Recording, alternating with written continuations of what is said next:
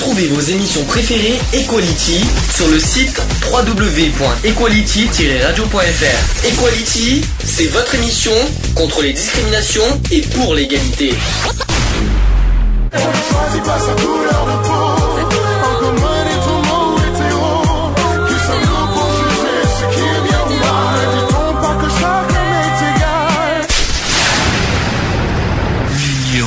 Fait la force. C'est le sujet du jour.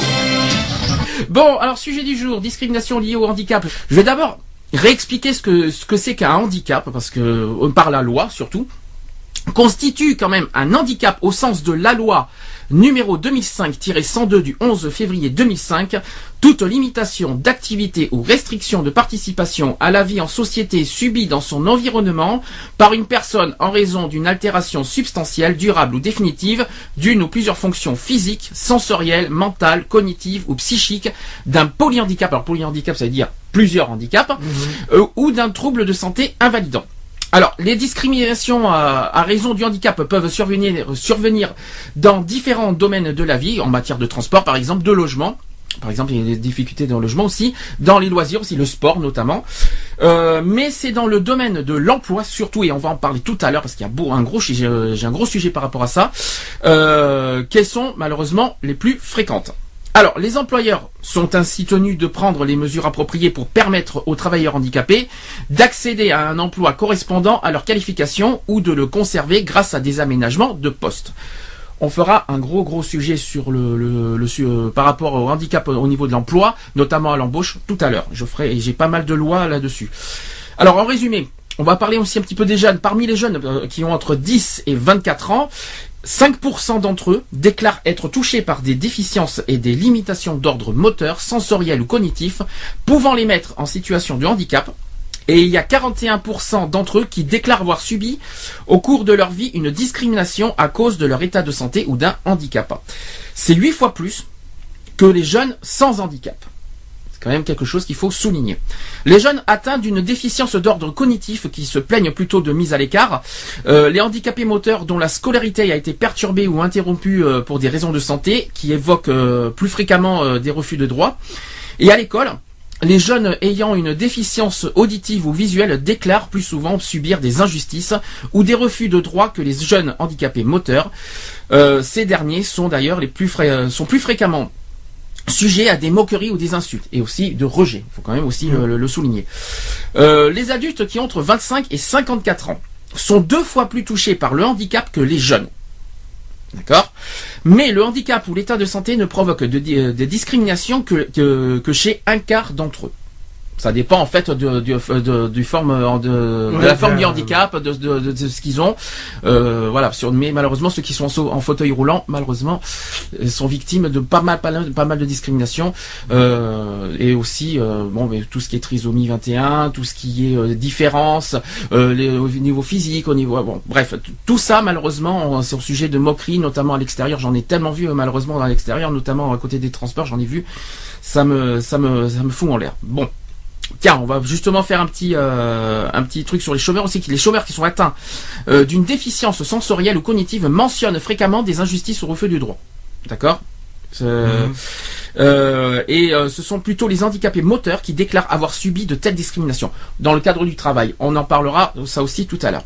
Alors concernant les moqueries, les mises à l'écart et les traitements injustes et refus de droit, alors il y a 3 millions de personnes qui déclarent avoir fait l'objet de discrimination au cours de leur vie à cause de leur état de santé ou d'un handicap. Cela représente 5% des personnes de tout âge vivant en ménage ordinaire. Ces discriminations recouvrent des moqueries, des mises à l'écart, la mise à l'écart c'est-à-dire les exclusions bien sûr, des traitements injustes ou des refus de droit en- pour euh, raison de santé ou de handicap. Les discriminations les plus souvent déclarées sont des moqueries et ou des insultes. C'est voilà, c'est malheureusement euh, les vrais. Il faut être honnête quoi. Mais euh, euh, c'est peut-être les moqueries, les insultes, mais après quel genre de moqueries? Est-ce que toi t'en as vu personnellement des genres de moqueries en pointe du doigt? Ah ben, euh, mais il y en a plein. Ah ben moi j'en ai vu quelques-unes. C'est ah bah tiens regarde lui, euh, s'il n'était pas en fauteuil roulant, il aurait pu très bien marcher euh, comme moi, toi et moi. C'est pas vraiment une moquerie. Mais bon, pour la personne, quand tu es à 5 cm de la, du fauteuil roulant et que tu claques ça, euh, comment il le prend? Moi, il y, a une chose qu'on m'a dit. Il y a des choses comme ça, c'est regarde-le. Euh, ah bah, ah bah lui, voilà. Ou c'est pour c'est pour euh, des personnes qui sont atteintes euh, d'un handicap moteur. Euh, là, voilà. Ben, moi, je me suis posé une question. moi, je me suis posé une question. Est-ce qu'ils se moquent par rapport à leur différence ou est-ce qu'ils se moquent parce qu'ils ont peur du handicap? Moi, je me suis beaucoup posé ben, cette question. moi, je pense qu'il y en a qui se moquent pour parce qu'ils ont peur, mais il y en a ils se moquent parce que voilà, ça leur fait plaisir de se moquer des gens des autres. Oui, mais Roger. Or, or qui devrait se regarder avant. Toutefois, c'est quand même idiot et, et pas logique. Une fois qu'on a un handicap, et eh bien après, tu n'existes plus en gros. Que ce soit au niveau familial ou au niveau amical et le pourquoi. Parce que le fait que tu ne peux pas faire comme tout le monde les loisirs, l'exemple que tu peux pas travailler comme tout le monde, que tu ne peux pas faire ci, tu es tel, à ce niveau-là, tu es différent des autres et donc on te rejette par rapport à ça. Ah, et je trouve ça tellement aberrant alors qu'il n'y a rien de différent entre un handicapé et une personne normale. C'est pas parce que tu es sur fauteuil roulant ou que tu es euh, que as une canne ou que tu as, un mhm. accident parce qu'un handicap ça peut, se produire par accident. Euh, ça peut arriver du jour au lendemain un accident. On a vu d'ailleurs dans l'émission sans aucun doute, et d'ailleurs qu'on respecte énormément, euh, euh, une personne qui est devenue tétraplégique euh, suite, à, une erreur médicale. Une erreur médicale. Vous croyez franchement qu'une personne va se faire rejeter parce que d'ailleurs elle en a beaucoup parlé dans l'émission sans aucun doute et que et que elle s'est du du jour au lendemain rejetée par ses proches parce qu'elle est devenue tétraplégique à cause d'un à cause d'une opération. Non, c'est une opération qui a été ratée. Non, c'est une erreur médicale. Non, c'est pas une erreur médicale. Elle a eu une ponction lombaire. Je sais pas si tu te souviens. Et ça a été raté par une étudiante. Je sais pas si tu te souviens de l'histoire. Ouais, et ça a été raté. Et du coup, à cause de ça, le lendemain, le lendemain, euh, tout ça, ben, n'existe plus. Elle a plus d'amis. Heureusement qu'elle a sa compagne parce que bon, elle est lesbienne. Je, je tiens à le préciser. Il n'y a pas de honte à ça. Et qu'elle euh, habite d'ailleurs à Agen. Si, euh, si on nous écoute, on lui fait un petit coucou d'ailleurs. Et que, et que, euh, et que euh, le problème, c'est que du jour au lendemain, voilà, euh, du coup, elle, est différente. Euh, elle a le fauteuil dérange, le, fait qu'elle travaille plus, ça dérange. Et surtout que le problème, c'est que son appartement n'est même pas adapté suite à ce à ce problème-là. Oui, mais pourquoi rejeter du jour au lendemain Qu'est-ce que pourquoi rejeter une personne du jour au lendemain Là, je parle de la mise à l'écart, c'est pour ça que je suis en mhm. plein dedans là. Euh, la mise à l'écart. Pourquoi rejeter une personne du jour au lendemain Tout ça parce qu'elle est, elle, est sur fauteuil. La, la, personne ne change pas. Elle est, elle est toujours la même. Elle est toujours la même personne. C'est pas, c'est pas que c'est naturel. c'est pas entre la, seule différence, c'est qu'elle peut plus marcher, c'est tout. Mais que ce soit hier ou aujourd'hui, imaginons qu'aujourd'hui il y a un accident, elle devient handicapée. Demain, c'est toujours la même personne. Mhm. Il y a, a rien qui différencie quoi que ce soit. Je ne comprends pas. C'est que euh, c'est quoi la différence? Euh, il y a, Voilà, c'est juste que physiquement, voilà, elle est pas apte de faire des loisirs, des sports, tout ce que comme tout le monde. D'accord. Elle peut pas, elle peut pas travailler comme tout le monde? D'accord. Et alors, mais ça reste une, la même personne qui qui, euh, qui se bat pour euh, pour euh, justement pour pour se faire respecter, d'être toujours dans la société reconnu, reconnu voilà, comme tel. Et puis bon, déjà c'est pas évident pour elle parce qu'elle elle se bat aussi par rapport à pour être reconnue au niveau médical. Malheureusement, mmh. y, a, y, a, vous savez que les médecins ont tendance en plus à à dire c'est pas ma faute, j'ai rien fait, si ouais, là au niveau des sciences, tout ça. Moi je trouve ça tellement aberrant, je trouve ça dégueulasse. Mais est-ce que toi personnellement tu as vu une moi j'en ai j'en connais des personnes actuellement, on va pas les citer pour par, par respect on connaît des personnes, même je pense, qui nous écoutent, mmh. qui sont euh, du jour au lendemain victimes d'exclusion de, et de, qu'on n'existe plus. Est-ce que toi, personnellement, tu as, vu des proches à toi ou des amis qui vivent ça et pourquoi? J'ai euh, eu euh, des proches qui, se, qui se retrouvent en fauteuil roulant et c'est vrai que le regard n'est pas le même. bon. Ah, parce que parce mmh. que on peut quand ça arrive on ne sait pas quoi faire. On ne hmm. sait pas comment faire pour, euh, pour aider la personne, justement. Et c'est vrai que le truc, il est. C'est assez difficile. Et le mieux, c'est de rester euh, le plus naturel possible. tout à fait. Voilà, il faut rester le plus naturel possible. Ah, de toute façon, euh, du jour au lendemain, on ne change pas. Après, c'est pas évident pour la personne en question qui se fait rejeter comme ça. Elle a rien, elle a rien demandé. Elle a, elle a pas mérité ça. Ah non, c'est sûr que là, la Faut pas oublier- ça, mais bon, faut après, pas oublier. faut- Je le souhaite à personne, ce que je dis, ce que je veux dire. Mais demain, ça peut vous arriver. Ah, demain, il- sûr. un accident de la route, un accident de travail, un accident de, un- une erreur médicale, on vient de le dire, une erreur de, une opération qui se tourne mal. Ça peut arriver à n'importe qui. Et du, vous comprendrez du jour au lendemain ce que vivent, euh, euh, voilà, ce que, ce que les gens ressentent et, éprouvent euh, une fois euh, dans la situation de handicap. Mais il faut bien se mettre en tête que c'est euh, un handicapé. Et tu l'as dit tout, comme tout à l'heure, c'est une personne comme une autre. Alors là, cette fois, on va sûrement parler de hum, aussi des personnes handicapées moteurs. Alors les handicapés moteurs, c'est les handicapés au niveau physique et au niveau cerveau. Euh, qui ont qui ont pas toute leur tête tout ce que vous voulez mais c'est pas une raison de se moquer de les pointer du doigt. C'est pas parce qu'ils sont différents ah, ah, ah, non ça peut non c'est pas drôle. Déjà euh, ça peut arriver ça peut même chose je le souhaite pas. Mais un jour dans un membre de, dans un membre de votre famille ou vous-même vous pouvez avoir un enfant qui d'un coup peut, peut être euh, peut avoir un handicap et vous, euh, voilà. Et ça m'étonnerait que vous allez rejeter votre enfant parce qu'il a un handicap. Enfin, du moins j'espère pas. J'espère que vous qu'il y a des gens qui sont pas à ce point-là euh, qui veulent l'enfant parfait et tout ça. Et si vous avez un handicap c'est votre enfant quoi qu'il en soit. C'est pas votre c'est pas votre déchet. C'est un enfant c'est un être humain Ben, comme tout le monde. Tiens, justement, moi j'ai un petit exemple par rapport à- aux handicapés. C'est c'est au niveau de la SNCF. Mhm.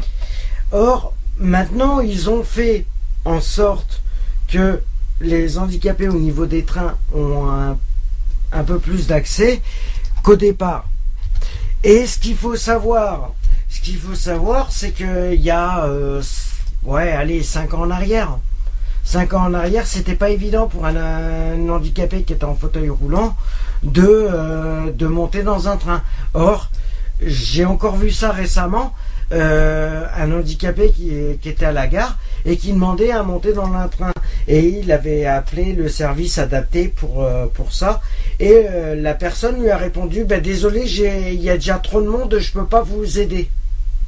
alors attends comment ça il y a trop de Un monde service, euh, le service de la gare, une personne qui travaille euh, ah non c'est à la ça, ça fait partie des, euh, alors je sais pas si ça fait partie des obligations mais il me semble que qu'ils ont le devoir il me semble qu'ils ont un devoir là-dessus d'aider les, les personnes handicapées euh, déjà à accéder au train. accéder au train donc forcément euh, par rapport aux déjà il y a des trains qui sont pas évidents je pense Ouais. là, il y a notamment au- il y a des oui. Aux anciens trains. je pense alors il y a un nom pour ça c'est pas les TER parce que les TER sont maintenant assez oui, accessibles C'est les corails. Alors il y a les corails et puis il y a les autres aussi Ouais, Euh, les- ouais. intercités Les intercités euh, qui sont pas très sont évidents. pas ils sont pas très adaptés maintenant, maintenant, les nouveaux aussi commencent à, à s'adapter à, à Oui, tout le monde. pas les mais- anciens parce qu'il y a encore des Non, les bah, anciens, non. Il y a des, il y a encore, il y a, Ouais. parce que tout, il n'y a pas que des nouveaux trains, on en, on en voit quelques-uns, mais il y, a- il y en a, il existe encore des nouveaux, des anciens trains, et puis c'est pas évident pour eux pour accéder euh, au, euh, dans les trains. Bon, si on parle des trains, on va forcément parler des avions, Des Euh, avions, mais les avions c'est plus accessible et plus, fa- et plus voilà, facile. oui. Mais bon, c'est pareil. les voitures, voilà, il y a des, maintenant des voitures adaptées pour les handicaps, tant mieux, heureusement. Bon, les logements. Euh, ça c'est le ça c'est un problème, c'est que du jour au lendemain quand parce que du handicap, et puis il faut réadapter un logement ou trouver un autre logement, ça c'est ça, pas, ça doit pas être Ça, c'est facile. pas évident. Quand on perd son emploi du jour au lendemain, ça c'est encore pas facile non plus. Voilà, quand, quand une fois qu'on est dans un handicap, on est obligé de, de se réadapter au niveau euh, au niveau de la Au niveau de- social, au non pas au niveau- social, mais même soi-même, euh, ouais. mais même soi-même, se réadapter seul. Du jour au lendemain, déjà, tu peux, quand je parlais déjà d'une d'une personne tétraplégique, elle est obligée d'avoir une auxiliaire de vie, une personne proche pour, pour être aidée, aller aux toilettes ou aller euh, dans, dans, dans une baignoire. Ça doit être terrible. Pas adapté. euh, Mais c'est, voilà. non, mais ça doit être terrible moralement de, de vivre ça. Quand Ah bah, ce- ça détruit carrément la personne. Hein. tu te sens, tu te sens plus indépendant, tu te sens plus maître de toi-même, tu es obligé de dépendre d'une autre personne pour, euh, pour, euh, pour ça. Ça doit être terrible, moralement parlant, de, de vivre avec, euh, avec ça. Et je leur donne, et d'ailleurs, je leur transmets toutes mes pensées pour votre, pour leur courage, pour leur, euh, pour leur, pour leur côté battant, tu vois, qui Mhm. se battent euh, que 24 heures sur 24 pour vivre euh, ces, ces, ces, ces situations euh, assez Et difficiles. pour faire respecter. euh, Oui, ce oui. qui est logique. Et pour se euh, faire reconnaître lois, aussi. euh, voilà. Et, et pour se faire reconnaître, pour se faire respecter, pour se faire accepter aussi, par rapport dans la par société. à- ouais. Et au niveau de ses proches, au niveau de tout ça, ce que je peux dire là-dessus, j'ai, bon, là-dessus, euh, toutes mes pensées euh, à toutes ces personnes.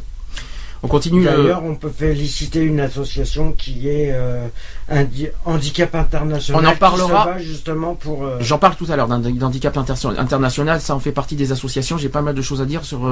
ils ont pas mal de choses à dire là-dessus. Alors je répète au niveau des moqueries et mises à l'écart, je répète en chiffres 3 millions de personnes qui déclarent avoir fait l'objet de discrimination au cours de leur vie à cause de leur état de santé ou d'un handicap. Cela représente 5% des personnes de tout âge vivant en ménage ordinaire. Ces discriminations recouvrent des moqueries, des mises à l'écart, des traitements injustes ou refus. Alors les non handicapés, donc les personnes normales, déclarent, euh, j'ai dit une bêtise parce que des personnes normales et handicapées sont pour moi aussi des personnes normales. Voilà. Je tiens à préciser. Les non-handicapés donc déclarent les, des discriminations relevant de problèmes de santé spécifiques et non d'un mauvais euh, état de santé global. Par exemple, des moqueries liées à l'apparence chez ceux qui ont des gros problèmes de vue non, non handicapants. Donc on parle de strabisme corrigé entre autres. Des mises aussi à l'écart pour les enfants allergiques. Mmh. Ça, c'est plus euh, ça c'est plus bête qu'autre chose de faire ça. Tout comme par, ici, euh, par exemple aussi la population totale, les jeunes handicapés citent les plus souvent les moqueries et insultes, mais les mises à l'écart sont également fréquentes et 10% des 20 à 24 ans déclarent des refus de droit. Alors, j'ai des graphiques. Euh, les plus touchés effectivement par rapport à ça, alors c'est une déclaration euh, de la personne interrogée d'un parent si elle est mineure de moins de 16 ans. Alors j'ai une lecture. Alors entre 10 et 14 ans par exemple, il y a 7,2% des personnes qui déclarent avoir subi des discriminations au cours de leur vie pour des raisons liées au handicap ou à la santé. Alors pour moi, les plus touchés, c'est les 20-24 ans, effectivement, on, voit la courbe. Mmh. Et les deuxièmes, les deuxièmes tranches les plus touchées, c'est les 10-14 ans. Donc vraiment des, jeunes quoi. Mmh. Euh, des ados. Des ados. Alors les ados sont très très touchés par rapport à ça, suivi après des 30-34 ans. Alors plus on vieillit, moins on est touché. Donc forcément. Euh, donc la première population c'est 20-24 ans, après 10-14 ans et, enfin 30-34 ans. Donc je répète tout ça, c'est 7,2% des personnes déclarant entre 10 et 14 ans, 7,2% des, des personnes déclarent avoir subi des discriminations au cours de leur vie. Voilà. Donc c'est quand même euh, assez euh, inquiétant. Et c'est ce sont des chiffres qui datent de 2008. Alors je pense que ça a bien évolué entre temps. D'ailleurs on va faire j'ai un petit exemple de, des défenseurs des droits tout à l'heure à, évoquer. Euh, je vous en dirai tout à l'heure. Je vous en dirai plus tout à l'heure. Alors concernant la mise à l'écart des jeunes qui sont atteints de déficience cognitive. Alors avant 25 ans, les problèmes de handicap sont rares et essentiellement d'ordre cognitif. Les troubles du comportement, les difficultés d'apprentissage, de concentration, de compréhension qui touchent 4% des jeunes de 10 à 24 ans. Les handicaps moteurs ou sensoriels qui sont seulement 1% chacun. Bon. Les jeunes qui souffrent de déficiences cognitives ressentent plus particulièrement les discriminations liées à des problèmes de santé ou de handicap. Je vous donne un chiffre, 45% d'entre eux déclarent en avoir subi, contre 33% des jeunes souffrant de déficiences sensorielles. Sensorielles, c'est-à-dire les, euh, le, toucher, tels que de graves problèmes de vue ou d'audition aussi. Il mentionne aussi avant tout que des moqueries ou des insultes, mais c'est aussi le cas de tous les jeunes ayant eu à se plaindre de discrimination qui soient atteints d'un handicap ou non. Les mises à l'écart frappent plus particulièrement les jeunes atteints de déficience cognitive. Elles sont évoquées par 64% des jeunes déficients cognitifs qui, déclarent au moins une discrimination. Alors ce type de discrimination est en revanche moins fréquemment ressenti par les jeunes souffrant de troubles moteurs. 51% d'ailleurs de, ceux qui ont souffert d'une discrimination. Ou alors sensorielle qui sont 38%. À l'école, et oui, parce qu'il y a aussi le problème de l'école, notamment chez les jeunes. Euh, les déficiences cognitives ne sont donc pas seulement une source potentielle de difficultés d'ordre scolaire, elles peuvent aussi engendrer un sentiment d'exclusion, forcément. Euh, j'ai des chiffres, alors je ne sais pas comment je vais vous faire ça parce que c'est un petit peu compliqué. Alors, euh, j'ai une population sur le handicap. Alors sur 100, pour, sur 100 personnes, il y a 94,6% qui ont aucun handicap. 5,4% euh, qui ont eu au moins un handicap. Après, j'ai 4,3% de personnes qui ont, au moins, qui ont eu au moins un, handicap d'ordre cognitif. Euh, après, j'ai 1,1% de la population qui ont eu euh, au moins un handicap d'ordre moteur. Et enfin, 0,7% qui ont, qui ont au moins un handicap d'ordre sensoriel. Voilà, donc ça, ce sont des chiffres qu'il fallait un petit peu souligner. j'ai aussi euh, sur, euh, par exemple, des chiffres, des, alors des gens qui ont subi des insultes et des moqueries. Ceux qui ont aucun, aucun handicap, ils sont 90. Et donc ils ont quand même subi des insultes et des moqueries parce que c'est pas parce que il n'y a pas uniquement les handicapés, ça peut être toute personne hein, euh, qui subit des, discriminations. Il n'y a pas forcément que les handicapés. Donc il y a quand même 90 euh, personnes euh, qui ont aucun handicap, qui ont subi des moqueries. Euh, ceux qui ont au moins un handicap, on euh, ils ont été 86. Bon, c'est pas facile de de décortiquer tous ces chiffres.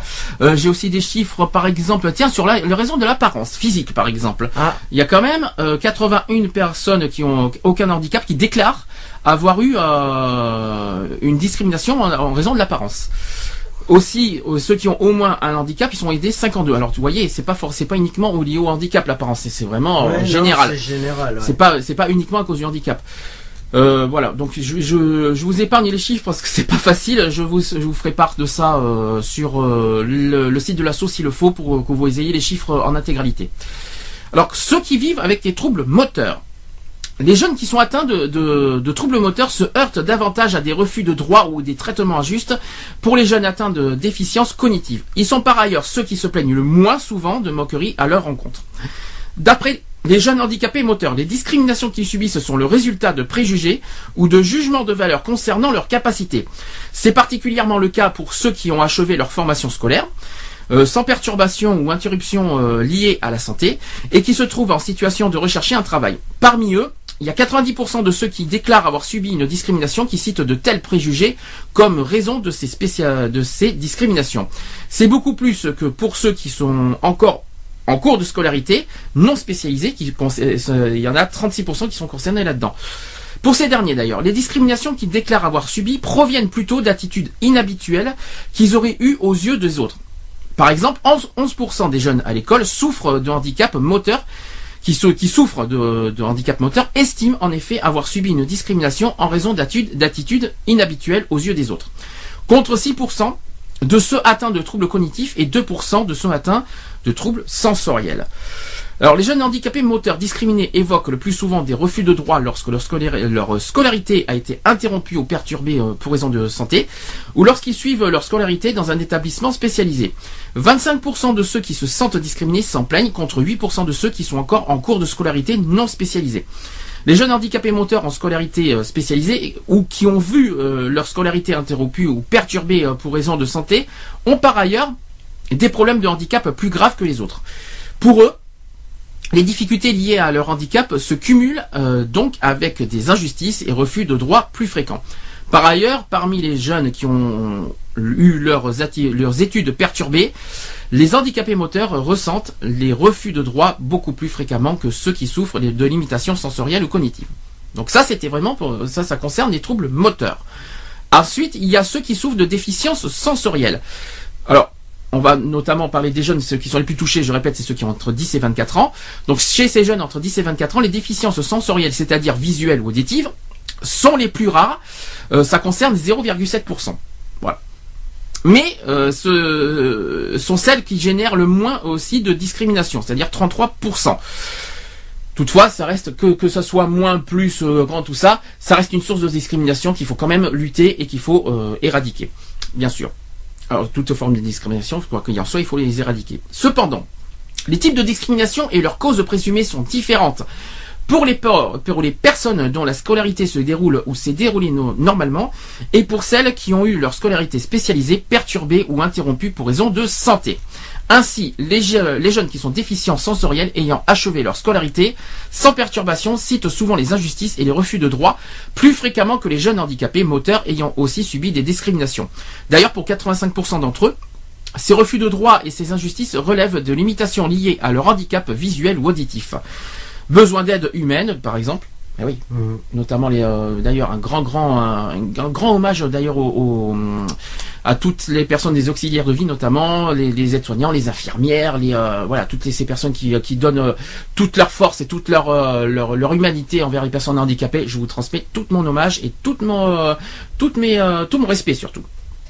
Et notre respect d'ailleurs. Euh, la lenteur, mais oui, malheureusement, étant handicapé, on a, on, a des marches difficiles, on, on a, on a, on n'a pas de, voilà, c'est difficile, euh, notamment ceux qui ont des problèmes de vue. Euh, J'ai une personne en particulier, je pense à toi, je pense que tu dois nous écouter dans pas longtemps. Si tu veux réagir, appelle-nous hein, si tu veux, parce que je pense que là-dessus tu as pas mal de choses à dire. Euh, je sais qui, je sais de qui on parle, mais j'ai pas envie de la citer pour euh, voilà. Euh, ensuite, difficultés de communication, forcément, euh, notamment pour ceux qui sont sourds, Mhm. muets, euh, difficile. Ça va déjà que déjà qu'il faut comprendre leur langage, le langage des signes. D'ailleurs, beaucoup de beaucoup beaucoup beaucoup aussi de pensées et, de, et à toutes les associations et les, et les personnes qui euh, qui offrent qui offrent Qui toutes luttent euh, contre, euh, pas qui luttent, non, c'est qui luttent pour euh, que leurs droits soient respectés par rapport au niveau des sourds et muets. Et... Ben c'est pas évident parce que eux c'est plus difficile. Ils ont ils sont coupés du monde en quelque sorte. Mhm. Ceux qui sont aveugles par exemple ils voient rien. C'est c'est c'est terrible. C'est- voilà, terrible. Toutes ces associations Voilà. qui se battent Ceux qui pour sont euh, sourds muets, respecter les droits. ceux, qui, et- ceux qui sont sourds muets, ils sont ils sont rien. Ils sont obligés de voir les bon ils voient. par c'est de- rapport au langage ils, en- des signes. ils c'est sont coupés que- du monde. Ceux qui ils sont quand même coupés du monde et heureusement qu'il y a des associations qui qui existent pour justement qu'ils soient euh, qu'ils ne soient pas isolés du euh, de la société, du monde de- des personnes et qui se sentent comme tout le monde et qui se sentent voilà qui qui qui, euh, qui viennent qui vont à l'extérieur, qui qui euh, qui vivent comme tout le monde plutôt.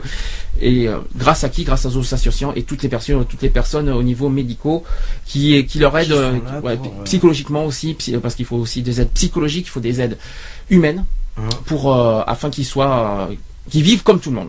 Et ça, je, je leur tire, je donne tout mon tout mon respect et tout mon chapeau à toutes ces personnes-là. Alors. Au niveau des donc je continue alors les trois quarts d'entre eux qui citent euh, toujours dans les déficiences sensorielles trois quarts d'entre eux qui citent aussi les, at- les attitudes inhabituelles qu'ils auraient euh, aux yeux des autres comme source de, de discrimination. C'est quand même deux fois plus que pour les déficients moteurs. Donc les, dé- ça veut dire que les déficiences sensorielles sont plus touchées que les défi- déficients moteurs au niveau euh, attitude inhabituelle. C'est c'est ignoble quoi. Euh, à l'inverse d'ailleurs, quand ils sont euh, en cours de scolarité, les jeunes handicapés sensoriels ne, sentent, euh, ne citent quasiment jamais les attitudes inhabituelles qu'ils auraient eu, euh, qu'ils auraient aux yeux des autres comme origine de, de discrimination subie. Ils se plaignent plutôt de préjugés à leur encontre. Forcément, les, les pointer du doigt, les regards, euh, parce qu'on parle beaucoup de regards aussi. Euh, ensuite, ayant achevé leur formation et confrontés au monde du travail, les jeunes handicapés sensoriels considéreraient donc que les comportements propres aux personnes déficientes de la vue ou de l'audition paraissent inhabituels aux yeux des autres, ce qu'ils n'avaient pas forcément ressenti à l'école. Et enfin, les déficients euh, sensoriels dont euh, la scolarité s'est interrompue ou a été perturbée se plaignent plus souvent d'avoir subi de dis- discrimination. Il y a quand même, ils sont quand même 65% de concernés là-dedans. Et pour eux, les refus de droit et injustice sont en revanche relativement rares. Il s'agit surtout de moqueries principalement liées à l'apparence. Physique, bien sûr. Ouais, bah oui. L'apparence aussi euh, en général. Euh, après, chez les jeux- chez l'âge adulte, alors les, les, les adultes ressentent moins de discrimination, par contre, que les que les jeunes. Moi, je trouve pas c'est, moi je trouve Moi, pas je ça très correct. Moi, je trouve Non. pas, moi je suis pas très d'accord parce que j'ai eu beaucoup de témoignages, j'ai eu beaucoup de, de personnes qui me qui me parlent et tout ça et qui vivent franchement des discriminations et puis plutôt de l'isolement. Voilà, qui sont qui se sentent vraiment isolés et rejetés. Que, donc peut-être que c'est moins ressenti à l'âge adulte, mais ça existe. Il faut il faut pas dire de bêtises. Euh, les adultes sont même euh, à, cause de l'emploi notamment, et ça il faut être honnête, hein, euh, notamment l'emploi, sont discriminés, exclus, rejetés, isolés, tout ce qu'on veut. Ils vivent ils vivent pas une vie normale. Je comprends pas pourquoi ils disent que c'est moins ressenti à l'âge adulte. Je ne comprends pas. Mais bon, on va on va voir ce que vous on, va évoquer ça, mais euh, on va y dire tout ça. À l'âge adulte, par exemple. Les déficiences et limitations d'ordre moteur ou sensoriel deviennent plus fréquentes, ça c'est sûr. Pour autant, les situations de discrimination sont plus rares ou moins fortement ressenties et donc moins souvent déclarées que chez les jeunes. Alors moi je suis pas d'accord personnellement. Je, enfin c'est mon avis personnel. Ah bon Mais euh, alors par exemple, tiens je vais vous donner un chiffre. Euh, 30, alors c'est des chiffres de l'Insee, hein, je tiens à vous le rappeler. Hein. 31% des 25-54 ans atteints de troubles cognitifs déclarent des discriminations liées à la santé, à la santé ou handicap. C'est quand même 31%. C'est quand même un chiffre à prendre en considération. C'est pas, c'est pas rien 31%. Faut pas, faut pas non plus dire des bêtises. Par exemple, euh, 45% des moins de 25 ans euh, dans le même cas que s'en plaignent. Alors c'est pas, c'est pas, il n'y a pas énormément d'écart, d'accord. Il y a, d'accord chez les jeunes c'est plus fréquent, c'est normal. Les enfants à l'école c'est, c'est plus, c'est terrible. D'accord, il y a, c'est plus concerné chez les moins de 25 ans, mais 31% de 25-54 ans c'est déjà un gros chiffre. Il faut pas, faut pas, c'est peut-être moins que les jeunes, mais c'est quand même beaucoup pour moi. Euh, entre les adultes et les jeunes aussi, c'est, ce sont surtout le type de discrimination et leurs causes qui diffèrent. Alors assez naturellement, par exemple, les personnes en âge de travailler déclarent subir plus souvent que les jeunes des refus de droits et des injustices, et moins souvent des moqueries. Oui et non. Je, je, mets ça entre guillemets, hein, personnellement. Euh, les questions d'apparence sont moins fortement ressenties. Ça, par contre, c'est possible. Voilà, peut-être au niveau de l'apparence, d'accord. Ça, c'est peut-être possible. Mais au niveau du, euh, quand même, au niveau de des, des regards, des moqueries, des, des, des, des exclusions, tout ça, ça existe fortement et ça, j'en suis quasi sûr.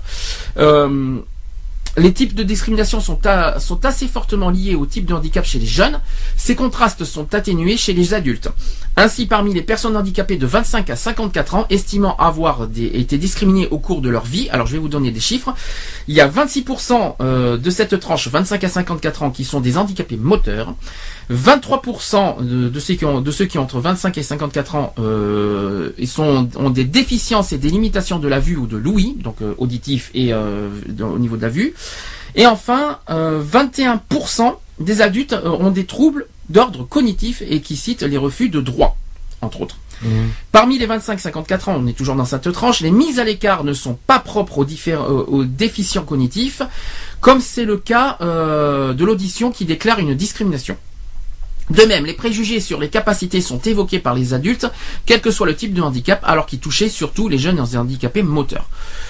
Pourquoi pas, mais euh, voilà, j'ai quand même des chiffres, tiens, pourquoi pas. Au niveau de, de répartition, alors chez les jeunes de 25 à 54 ans, enfin chez les personnes, pas les jeunes, chez les personnes de 25 à 54 ans, écoutez ça, 90,4% déclarent n'avoir aucun handicap. 9,6% entre 25 et 54 ans déclarent au moins avoir un handicap. Ensuite, 4,6% euh, ont, un, handicap euh, d'ordre cognitif, 4,1% euh, ont, un, handicap d'ordre moteur, et enfin 3% ont des déficiences sensorielles. Voilà.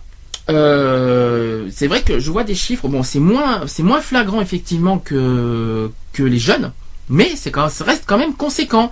Je vous donne un exemple. Par exemple, euh, euh, là, voilà, au niveau des hum, avoir subi des insultes et des moqueries chez, ceux qui sont ceux qui ont aucun handicap, il y a 71% quand même qui, euh, ont déjà subi des insultes et des moqueries. C'est quand même énorme. Chez ceux qui ont au moins un handicap, ils ont été 65% avoir subi au moins une fois des insultes et des moqueries. Donc faut quand même prendre ça comme des comme en considération. C'est quand même pas à prendre euh, à la légère, on va dire. Euh, ceux qui ont des troubles cognitifs, même chose, 67, 62. Donc voilà, avoir subi des insultes et des moqueries, c'est énorme. Euh, mise à l'écart, c'est-à-dire l'exclusion. Euh, bon, quand même, ça concerne 47% des, euh, de ceux qui ont au moins un handicap. Ils ont au moins subi euh, un rejet. Voilà, je, je, com- euh, je comprends pas moi. C'est quand même des chiffres qui sont quand même à, à- à ne- à prendre en considération et qu'il faut continuer à se battre pour euh, bah, pour que ces chiffres euh, baissent tout simplement. Mhm. Voilà, ça ne devrait pas. Bon, je trouve que est-ce que la loi sur les discriminations de 1780, je vais dire une bêtise, mais dans les au 18e siècle, voilà, ça sera plus simple. Non, 1881, voilà, c'est moi qui dis une bêtise. La loi des discriminations de 1881. euh, est-ce que tu la tu la connais ou pas cette loi? Non. Alors, il y a une loi des discriminations qui existe. Je vais vous vous en parler tout à l'heure euh, en bref et on, verra ce qu'on en pensera. On dira si on la trouve bien, s'il faut la remettre à jour, s'il faut la remettre au cours du jour, parce que ça date quand même de 1881 cette, euh, cette, loi. Il y a quand même une loi en 2005 au, au niveau du handicap, euh, mais euh, je l'ai cité d'ailleurs euh, tout à l'heure au début, au, début du sujet. Euh, voilà, mais c'est pas. J'ai l'impression que c'est pas encore suffisant. Peut-être qu'il faut encore euh, encore évoluer cette, ces lois au niveau du handicap. Non, mais bon, moi, ce que je pense, c'est que euh, par rapport à tout ça, par rapport au handicap, euh, moi, je pense que ces chiffres devraient même plus exister du tout si euh, tout le monde euh, mettait un peu d'eau dans son vin en disant que ben, considère euh, les autres euh, comme des êtres humains et non comme des, des, des animaux. C'est tout simple.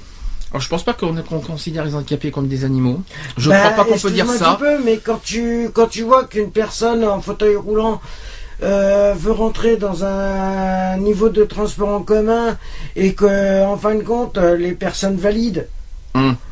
euh, les bousculent Ah. au moment où ils rentrent, excuse-moi du peu, ou leur coupe la route euh, sur tous les moyens en disant euh, oui, tu ferais mieux de passer euh, Alors, ailleurs. Voilà un sujet qui, qui mérite d'être euh, évoqué.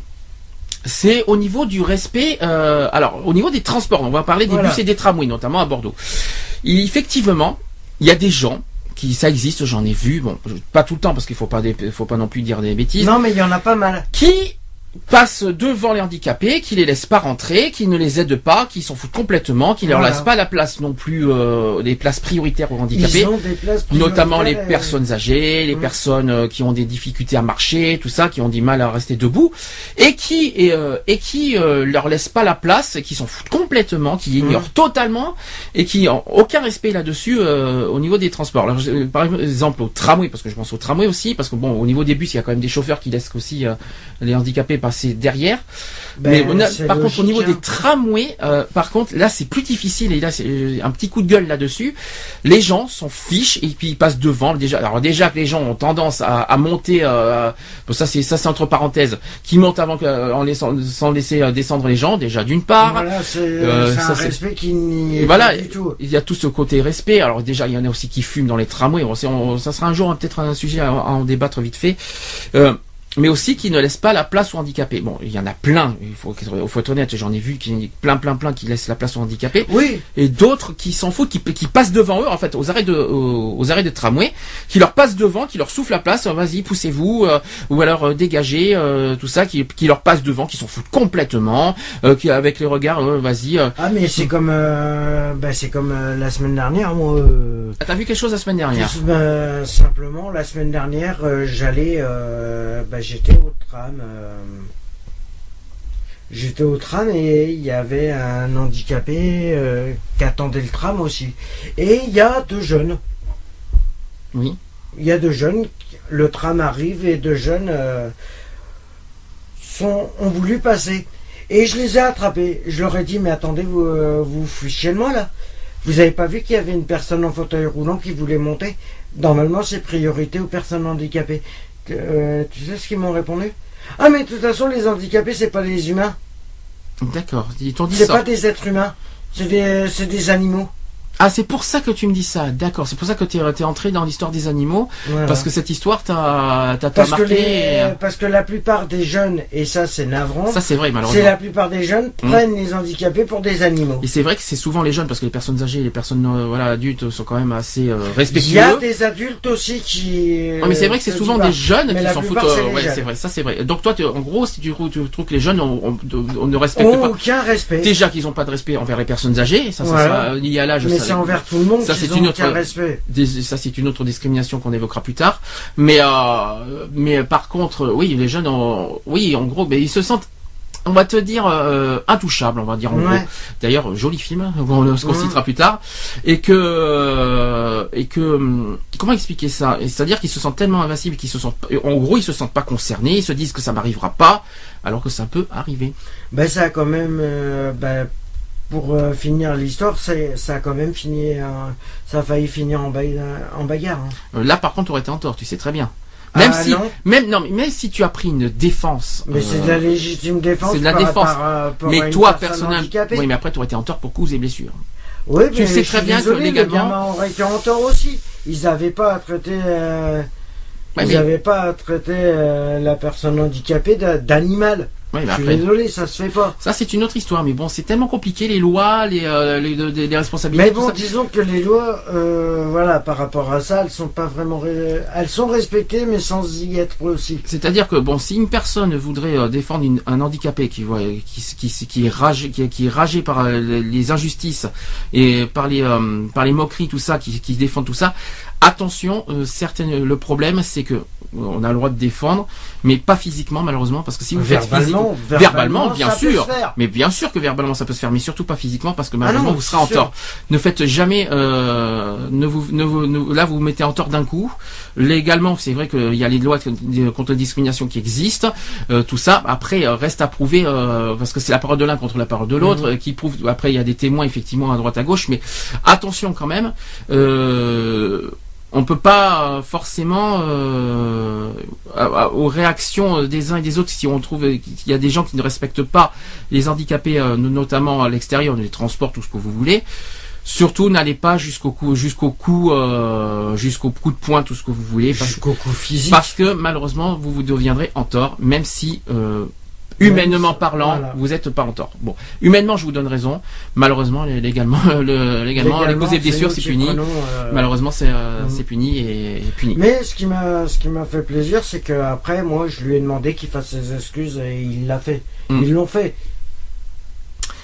Il a fait, mais il a quand même présenté ses excuses. Il a quand même. Il a pensé. Euh, il a quand même parce que je lui ai demandé. Mais est-ce qu'il a est-ce qu'il a est-ce qu'il a fait sincèrement ses excuses? Est-ce que ça a été sincère? Mais euh, je pense qu'il l'a fait sincèrement parce que vu ce que je lui ai dit, je lui ai dit mais t'as vu la personne elle est handicapée, elle est en fauteuil roulant, elle aimerait bien, elle aimerait bien être euh, comme nous.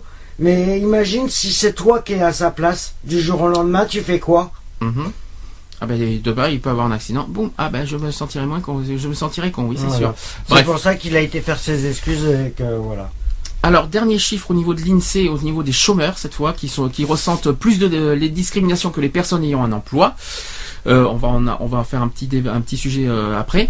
Alors parmi les 25-54 ans, les situations sont plus contrastées lorsqu'on compare les adultes qui travaillent et ceux qui sont au chômage. La moitié des chômeurs ayant déclaré une discrimination ont le sentiment d'avoir subi une injustice euh, liée à la santé ou au handicap contre euh, un quart des actifs ayant un emploi. De même, il y a un tiers des chômeurs qui déclarent des refus de, de, droits, si je ne me trompe pas, contre euh, un septième des adultes en emploi. Les différences entre travailleurs et chômeurs concernent aussi le lieu de ces discriminations. La moitié des chômeurs qui ont subi une discrimination évoquent le lieu du travail, tandis que les personnes en activité citent plutôt leurs études. Pourquoi pas Cependant, pour les chômeurs, le sentiment de discrimination pourrait être lié au changement de situation vis-à-vis de l'emploi. Ils déclareraient donc à posteriori, des discriminations sur leur ancien lieu de travail. Et parmi les chômeurs ayant déclaré une discrimination, un tiers de ceux qui ont un handicap évoquent les refus de droits pour raison de santé ou de, ou de handicap, une fréquence comparable à ceux qui n'ont pas de handicap. Pour ces derniers, des problèmes de santé n'étant pas forcément handicapants, donc l'arthrose, le diabète, les allergies entre autres, qui peuvent être source de discrimination. Évidemment, tout, euh, tout en gros, il faut être parfait dans les, dans les emplois. Alors, vous savez, faut, on n'a pas le droit d'être malade, on n'a pas le droit d'être, euh, d'avoir la moindre gratinure. Euh, vous savez que tout, tout, tout, tout, est gratinure. La moindre chose, ça y est, ça y est, on est rejeté et puis on est en mal vu. Alors, vous, savez, vous savez comment ça fonctionne dans l'emploi, notamment dans les bâtiments, tout ce qui, tout ce qui est métier, des métiers difficiles, manuels. ouf, tout ce qui est manutention. Voilà. le, le, diabète, je suis désolé, c'est pas marqué sur le front j'ai le diabète, hein, ce que je sache. L'arthrose non alors les allergies, si ça s'entend malheureusement. Ça s'entend, mais... Mais, bon, après il y a des allergies qui peuvent être euh, où t'es pas euh, obligé de, tousser ou d'éternuer pour. Euh, Alors, on va on va continuer le sujet. Vous savez que le, défenseur des droits, alors le défenseur des droits, Dominique Baudis, que vous, mhm. connaissez très bien, euh, a remplacé, euh, enfin, a, pris le, la suite de la HALD, euh, mhm. la haute autorité de lutte contre les discriminations, et voilà, vous, vous êtes au courant de ça. Non, l'égalité, pas l'environnement. Je sais pas d'où tu sors l'environnement, mais c'est pas grave. donc. je vais vous donner un exemple, une décision de, de défenseur des droits qui a pris la défense d'un handicapé. Ce sont des parents. Alors, je vais vous raconter l'histoire. C'est une histoire des parents d'un enfant qui souffre de, handicap, qui ont saisi le, défenseur des droits en raison des difficultés qu'ils ont rencontrées pour scolariser leur fils. Mmh. Ils souhaitent et euh, donc euh, ces parents, les parents souhaitaient que, que leur enfant soit scolarisé dans l'école primaire la plus proche de leur domicile. Ils ont rencontré le directeur de l'école qui a fait part de problèmes euh, de sureffectif mais n'a pas refusé de scolarisation. Pourtant, il a informé par téléphone les parents que l'enfant euh, ne pourrait être euh, que l'enfant ne pourrait être scolarisé. Donc les parents ont alors contacté les services municipaux et ont relevé des contradictions. Puisque là vous suivez. Mhm. Le défenseur des droits a demandé toute information utile à la mairie mise en cause. Euh, il en ressort que la demande formulée après la, la rentrée scolaire s'est heurtée à un réel problème de sureffectif dans l'école la plus proche. Le refus opposé repose donc sur des éléments objectifs et non discriminatoires. Alors le défenseur des droits, il a réagi, vous allez comprendre un petit peu quel est le rôle du défenseur des droits là-dedans. Donc le défenseur des droits, qu'est-ce qu'il a fait là-dedans? Et donc il a rappelé aux maires ainsi qu'aux directeurs de l'école leurs obligations en, en application des dispositions relatives à la scolarisation des enfants dans l'établissement de référence le plus proche de leur domicile. Autre chose qu'a fait le défenseur des droits, il a recommandé aux autorités compétentes de consulter préalablement les parents lorsque des disparités euh, d'effectifs conduisent le maire à un autre choix de scolarisation. Et enfin, il a fait un, euh, un troisième, euh, une troisième chose, le défenseur des droits, il a recommandé au maire ainsi qu'à l'inspecteur d'académie d'organiser une réunion avec les parents pour préparer la prochaine rentrée. Voilà. Donc, en gros, ce que la- le défenseur des droits peut faire, c'est en gros, c'est un rôle de médiation, si vous préférez. Si vous êtes victime de handicap, enfin, de handicap ou de discrimination plutôt, quelconque, que ce soit euh, à l'emploi, à l'école pour les enfants, pour quel que soit euh, votre votre euh, Votre euh, problème, vous contactez le défenseur des droits, qui donc je répète le- le- la suite de la HALD.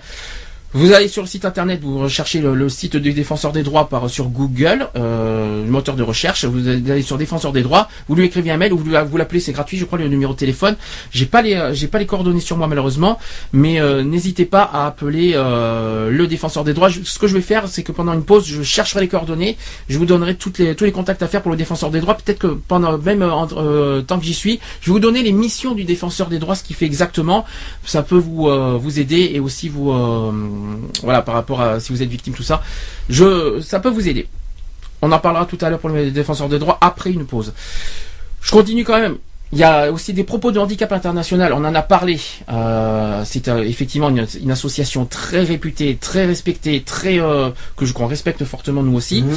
Alors pour eux, voilà ce que Handicap International dit. La, dis- la, la question de la discrimination du handicap est encore loin d'être résolue. Et pour moi, je trouve ça logique. Pour moi aujourd'hui, c'est clair, elle est, euh, elle est loin d'être résolue et si, euh, si tout le monde n'en met pas du vin, euh, de, de l'eau dans son vin, automatiquement, si tout le monde respectait un peu les droits de chacun, parce qu'on a tous le droit au même droit, euh, voilà, c'est tout. Et après, euh, pour rappel, Handicap International, c'est une association qui lutte contre la discrimination des personnes handicapées. Bon, on va dire même plusieurs discriminations. mhm. Euh, tu sais quand, depuis quand existe Handicap International? Euh, handicap international, ça fait plus de 30 ans. Voilà, exactement. Ça existent. fait, alors, ça fait exactement 32 ans qu'ils existent. Ouais. Ils sont créés en 1982. Voilà, donc euh, rien à dire là-dessus. Et Handicap International a rajouté quelque chose au, au sujet des droits de l'homme. Voilà ce qu'ils ont dit. Les droits de l'homme sont censés s'appliquer à chaque être humain sans exception.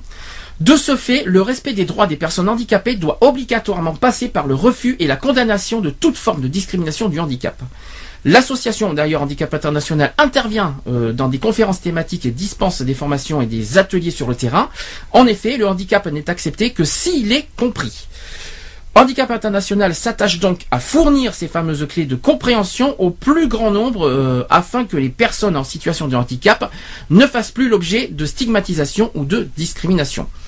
On parle aussi des femmes, parce que Mhm. beaucoup de femmes, euh, les femmes sont plus touchées que les hommes, soi-disant, au niveau du handicap. Alors, les femmes handicapées sont plus souvent euh, victimes d'abus et de discrimination que les hommes. Voilà. En fait, les femmes sont plus touchées par les discriminations que les hommes au Mhm. niveau du handicap. Elles sont plus vulnérables que les hommes et font l'objet de violences, voire des viols. Et ça, c'est très grave. Mhm. Et ça, il faut quand même le souligner. Faire Euh, des viols sur une personne handicapée, franchement, c'est abusé. mais c'est pire. Ça va très loin. Là, par contre, c'est moi, pour moi, pour une personne, c'est bête ce que je veux dire, mais c'est logique aussi à la fois. Pour une personne qui viole une femme handicapée, c'est c'est Ben, ça fait double. c'est ça- chaise électrique mais- direct. hein. pour, alors, Moi, pour moi, ça serait chaise électrique direct. Déjà, hein. ça fait double condamnation parce que toucher un handicapé plus viol. Ah bah vous, là, savez que le c'est- viol vous savez que le viol est un crime, c'est pas un délit. C'est même plus de 30 ans de réclusion, euh, c'est perpète, euh, c'est euh, c'est chaise électrique direct. Alors, hein. j'ai fait un sujet euh, sur le viol. euh, Il y a, qui t'étais pas là quand ça s'est Mhm. passé. On avait, il y avait une réaction d'ailleurs de GG qui était parmi nous. C'était, on a fait ça le 1er décembre sur la journée contre le SIDA. On avait fait le- la journée du, aussi de la violence aux femmes. Et que pour elle, voilà, pour elle, il y en a, je sais qu'il y a plein de personnes qui notent, qui sont là-dedans, notamment si on touche aux enfants. Hum. quoi qu'il en soit, si on touche aux enfants, aux femmes et bien sûr aux, aux handicapés, que ce- ces gens-là méritent le- la condamnation à mort. Bon, je sais que c'est compliqué. Je, je, sais que c'est compliqué parce qu'on c'est contraire euh, aux droits de l'homme parce que les droits de l'homme, les droits de l'homme dit bien que les, toute personne a droit à la vie. Mhm. Euh, Mais il y a, y a certaines limites aussi. Oui, il y a la limite. Maintenant, euh, pour moi, donc au lieu de condamner à mort, on condamne à perpétuité. Bon après, je sais ce qu'on va me dire. On, on, va dire oui, mais quand on tue un enfant, Là, c'est chaud. Je sais que c'est dur. Je sais que je, je sais le que retour, il doit être euh, automatique. Euh, bah, si le viol ou, la, ou un viol ou violence finit par un, par un meurtre, c'est vrai que c'est délicat comme euh, comme comme sujet, comme comme débat. C'est pas facile, mais est-ce qu'on peut dire nous, est-ce qu'on a le droit de dire qu'une personne mérite de mourir? Alors c'est vrai, une personne fait tue quelqu'un, la personne n'a rien demandé. Mm. Euh, que ce soit n'importe qui, un enfant, une femme, tout ce que tu veux, la personne n'a rien demandé. Donc la personne mérite dans ce cas la mort parce qu'il a, il a, il a tué des innocents en gros, qui ah, n'ont rien demandé, qui sont innocents, qui n'ont rien fait. C'est comme l'affaire qui a, euh, qui s'est passée, l'autre qui s'est. Qui... Ah du trou. Il y a, l'affaire du trou en, non, mais après, tu vois, par rapport à l'autre, là, qui est, qui est rentré, qui a buté les six enfants dans, dans l'école avant de se, avant de se flinguer. Et qui a été libéré pour Noël. je, pense que, je pense que cette histoire, c'est un le tueur d'enfants. Le, tueur d'enfants a été libéré à Noël. Ça, c'est vrai. Il y a l'affaire Mera, il y a, il y a toutes ces affaires. Euh. Alors Mera, c'est autre chose. C'est encore autre chose. Euh, Mera, ça n'a rien il a quand même euh, buté quand même des enfants. Hein. Oui, mais l'affaire Mera, c'est l'affaire Mera, c'est l'antisémitisme. C'est pas du tout du viol. Oui, non, Donc c'est pas du tout pareil. Tu vois, tous ces actes-là, je, moi personnellement, je comprends pas pourquoi les gens en arrivent là. Hmm. Pour quelle raison? C'est complètement stupide d'en arriver à des extrêmes comme ça. Mhm. De prendre une arme et de se pointer dans une, dans une école primaire et de buter des enfants qui n'ont rien demandé, qui font leur cours euh, tranquille. Alors ce qu'on va et faire. après, voilà, il y a des choses. Euh, voilà ce que je propose parce que je, ce que je propose parce que là on sort du sujet de, des discriminations liées à l'handicap. Il a pas. Ce qu'on fera un jour, euh, je le propose là aujourd'hui, on fera un débat ouvert sur pour ou contre la peine de mort. Donc on va je sais que c'est délicat comme sujet, je pense qu'il va y avoir plein de réactions là-dessus. Mmh. Euh, pour, ou contre, pour ou contre la peine de mort, on en fera un débat euh, dans les prochaines semaines. Pas tout de suite parce qu'il y a pas mal de sujets à évoquer. On en fera un débat euh, plus tard parce qu'il y a ou dans les mois qui arrivent. J'avoue que j'avoue que j'avoue que c'est un sujet très très délicat. J'essaierai de, de, trouver là-dessus. On continue par rapport par contre au par rapport à handicap international sur le sujet des femmes qui pour eux euh, les femmes euh, par leur handicap n'ont pas accès aux mêmes soins que les personnes valides. Elles sont par conséquent plus touchées que par les épidémies contre le, comme le sida par exemple, mmh. euh, ou la, la filariose, faute de prévention et de soins. C'est terrible d'entendre ça. Malheureusement, il fallait le souligner. Mais c'est vrai, mais c'est vrai, c'est qu'il n'y a pas assez de prévention par rapport à tous ces. Il y a des préventions contre le sida, mais par rapport aux soins. Par rapport euh, aux soins, on, on entend. C'est par rapport à ce qui se passe, par rapport aux actions, et là, c'est c'est par rapport, euh, voilà, par rapport aux recherches. On n'a aucune nouvelle de le site d'action il est, passé. Euh, on n'a aucune nouvelle des recherches. chaque année, euh, lors du, site d'action, on nous dit oui, les recherches ont bien avancé. On n'a on rien. On n'a rien qui prouve que c'est vraiment, c'est vraiment passé. Hmm. Alors ça, c'était la réaction du handicap international. Autre réaction, c'est la CNCDH. Alors qu'est-ce que c'est que la CNCDH C'est la Commission nationale consultative des droits de l'homme. Nous y sommes dedans, en plein truc des droits de l'homme, qui constate pour eux que le handicap est aujourd'hui une des causes majeures d'exclusion. Et ça, c'est clair, c'est précis. Ça, c'est ça, c'est mon avis personnel aussi, parce que c'est euh, exclusion. Et puis, je rajouterais moi personnellement, il parle d'exclusion, mais je rajouterais isolement aussi. Aussi. Parce que. Mais c'est une exclusion. Hein, non, l'exclusion, la cause, isolement, conséquence. Ouais, voilà. Il faut pas oublier. L'exclusion, c'est la, la cause de tout ça. L'isolement, c'est la conséquence de l'exclusion. Faut pas mmh. l'oublier. Donc c'est pour ça que j'en parle comme ça alors, qu'est-ce que cette commission a dit? C'est que plus de dix ans après la mise en œuvre des dernières lois de décentralisation, les collectivités locales n'ont toujours pas élaboré le règlement sur le traitement du handicap euh, et les juridictions chargées de juger les handicapés qui demandent des prestations d'invalidité qui sont composées ou connaissent des règles de procédure contraires aux droits de l'homme. Tant que, tant en ce qui concerne le travail, l'éducation et la formation, la dignité, bien sûr, l'intégrité de la personne humaine et la libre circulation, la CNCDH qui estime que la loi n'est pas suffisamment appliquée en pratique. Donc c'est bien ce que je disais tout à l'heure. Il va falloir que je retrouve cette loi de 2005 et la loi de discrimination de 1881. Il va falloir qu'on fasse en, clair, net et précis euh, un petit euh, un petit briefing là-dessus. Qu'est-ce qu'on en pense? Est-ce que cette loi est suffisante ou est-ce qu'il faut que cette loi soit révisée euh, et de, de punir un peu plus, même plus gravement les discriminations D'ailleurs, je trouve que les discriminations sont pas assez punies au niveau pénal. Ça, c'est mon avis personnel. Euh, on en fait, on, ah, mais on verra ce qu'on en pense. Il y a, il y a aucune discrimination qui est punie. Euh... Si, toutes les discriminations sont punies, mais je trouve pas, mais pas je trouve assez, euh, pas assez pour. Euh, pour moi, c'est pas assez, c'est puni, mais pas assez pour moi.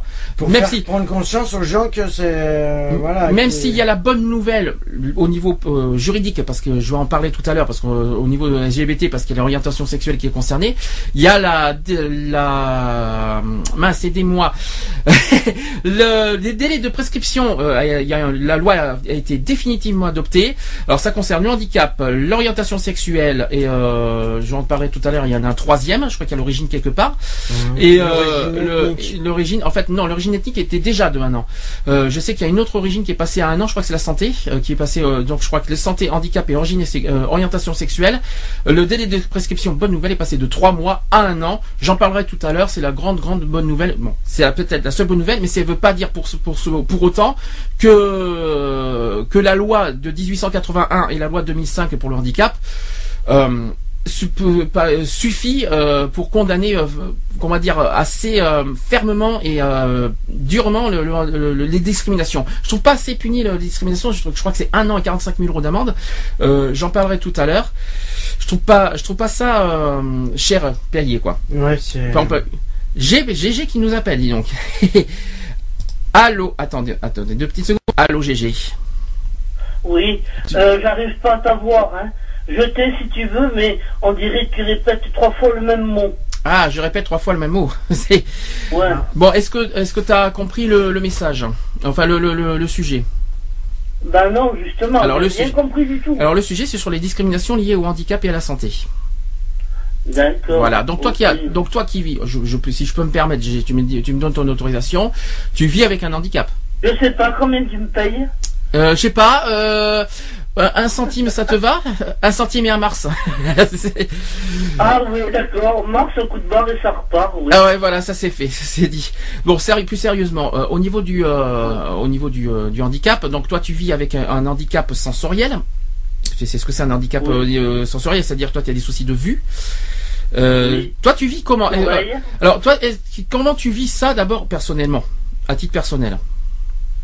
Ben moi, par moment, euh, je dirais presque, mais bon, c'est pas tout à fait ça. Je me foutrais en l'air, euh, rien que de savoir que j'entends pas ce, que, ce qui est dit, euh, que je vois pas ce qu'il y a à voir.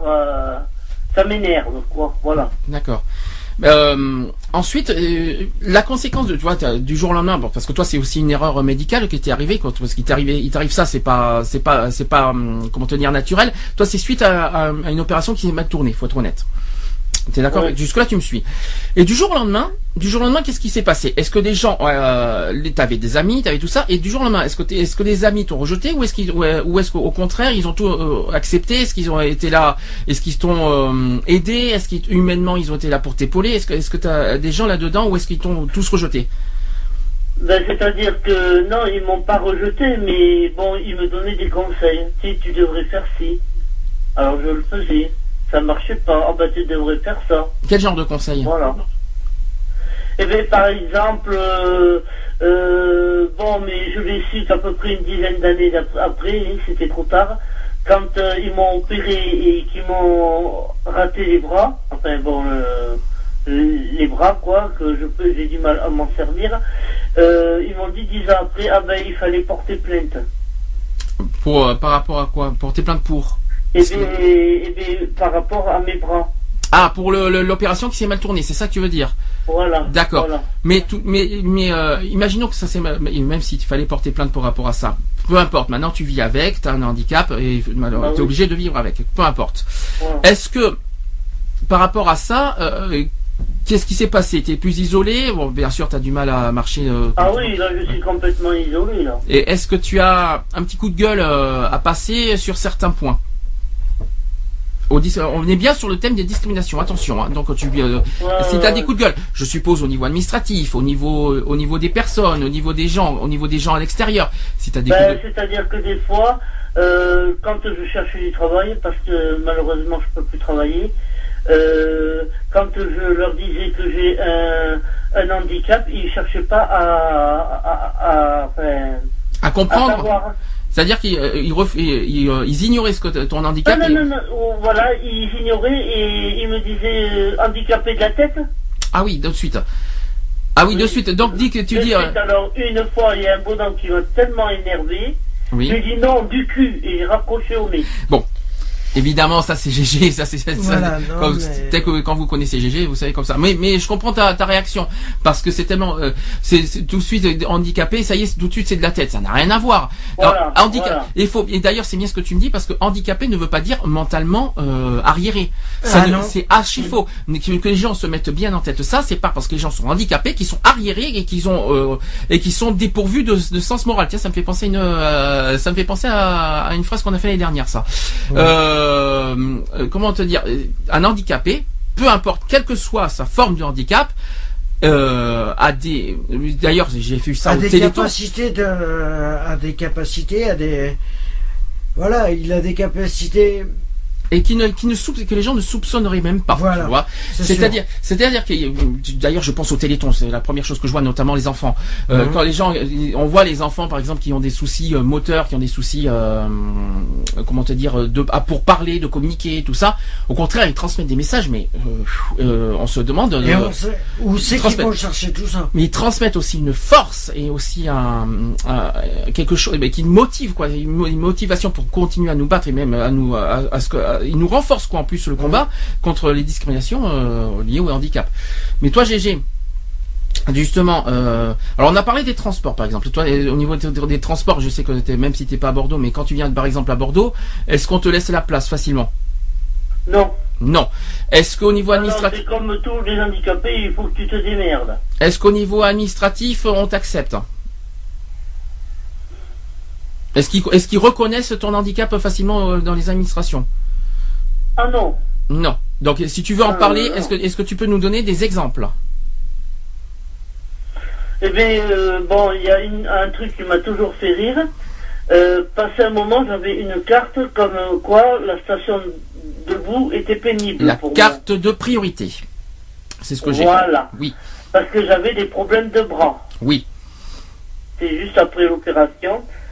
Et j'ai vu que que ça servait à rien parce que les gens, euh, moi aussi, je suis handicapé. Mhm. Voilà. Les trains par Donc exemple. ça ne m'a jamais donné la priorité à quoi que ce soit. Alors les trains justement. Les trains, toi, tu, tu avais fait, t'avais fait beaucoup les trains aussi.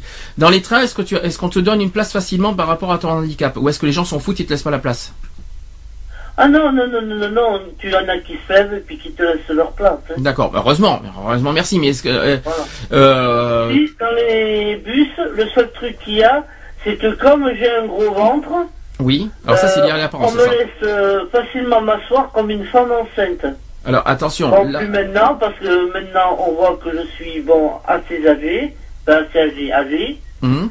Mais sinon, passé un temps, on me dit, il y a des gens qui disaient, oh, vous savez, madame, moi aussi, j'étais enceinte, je sais ce que c'est. Mhm. Alors ça, ça me faisait beaucoup rire.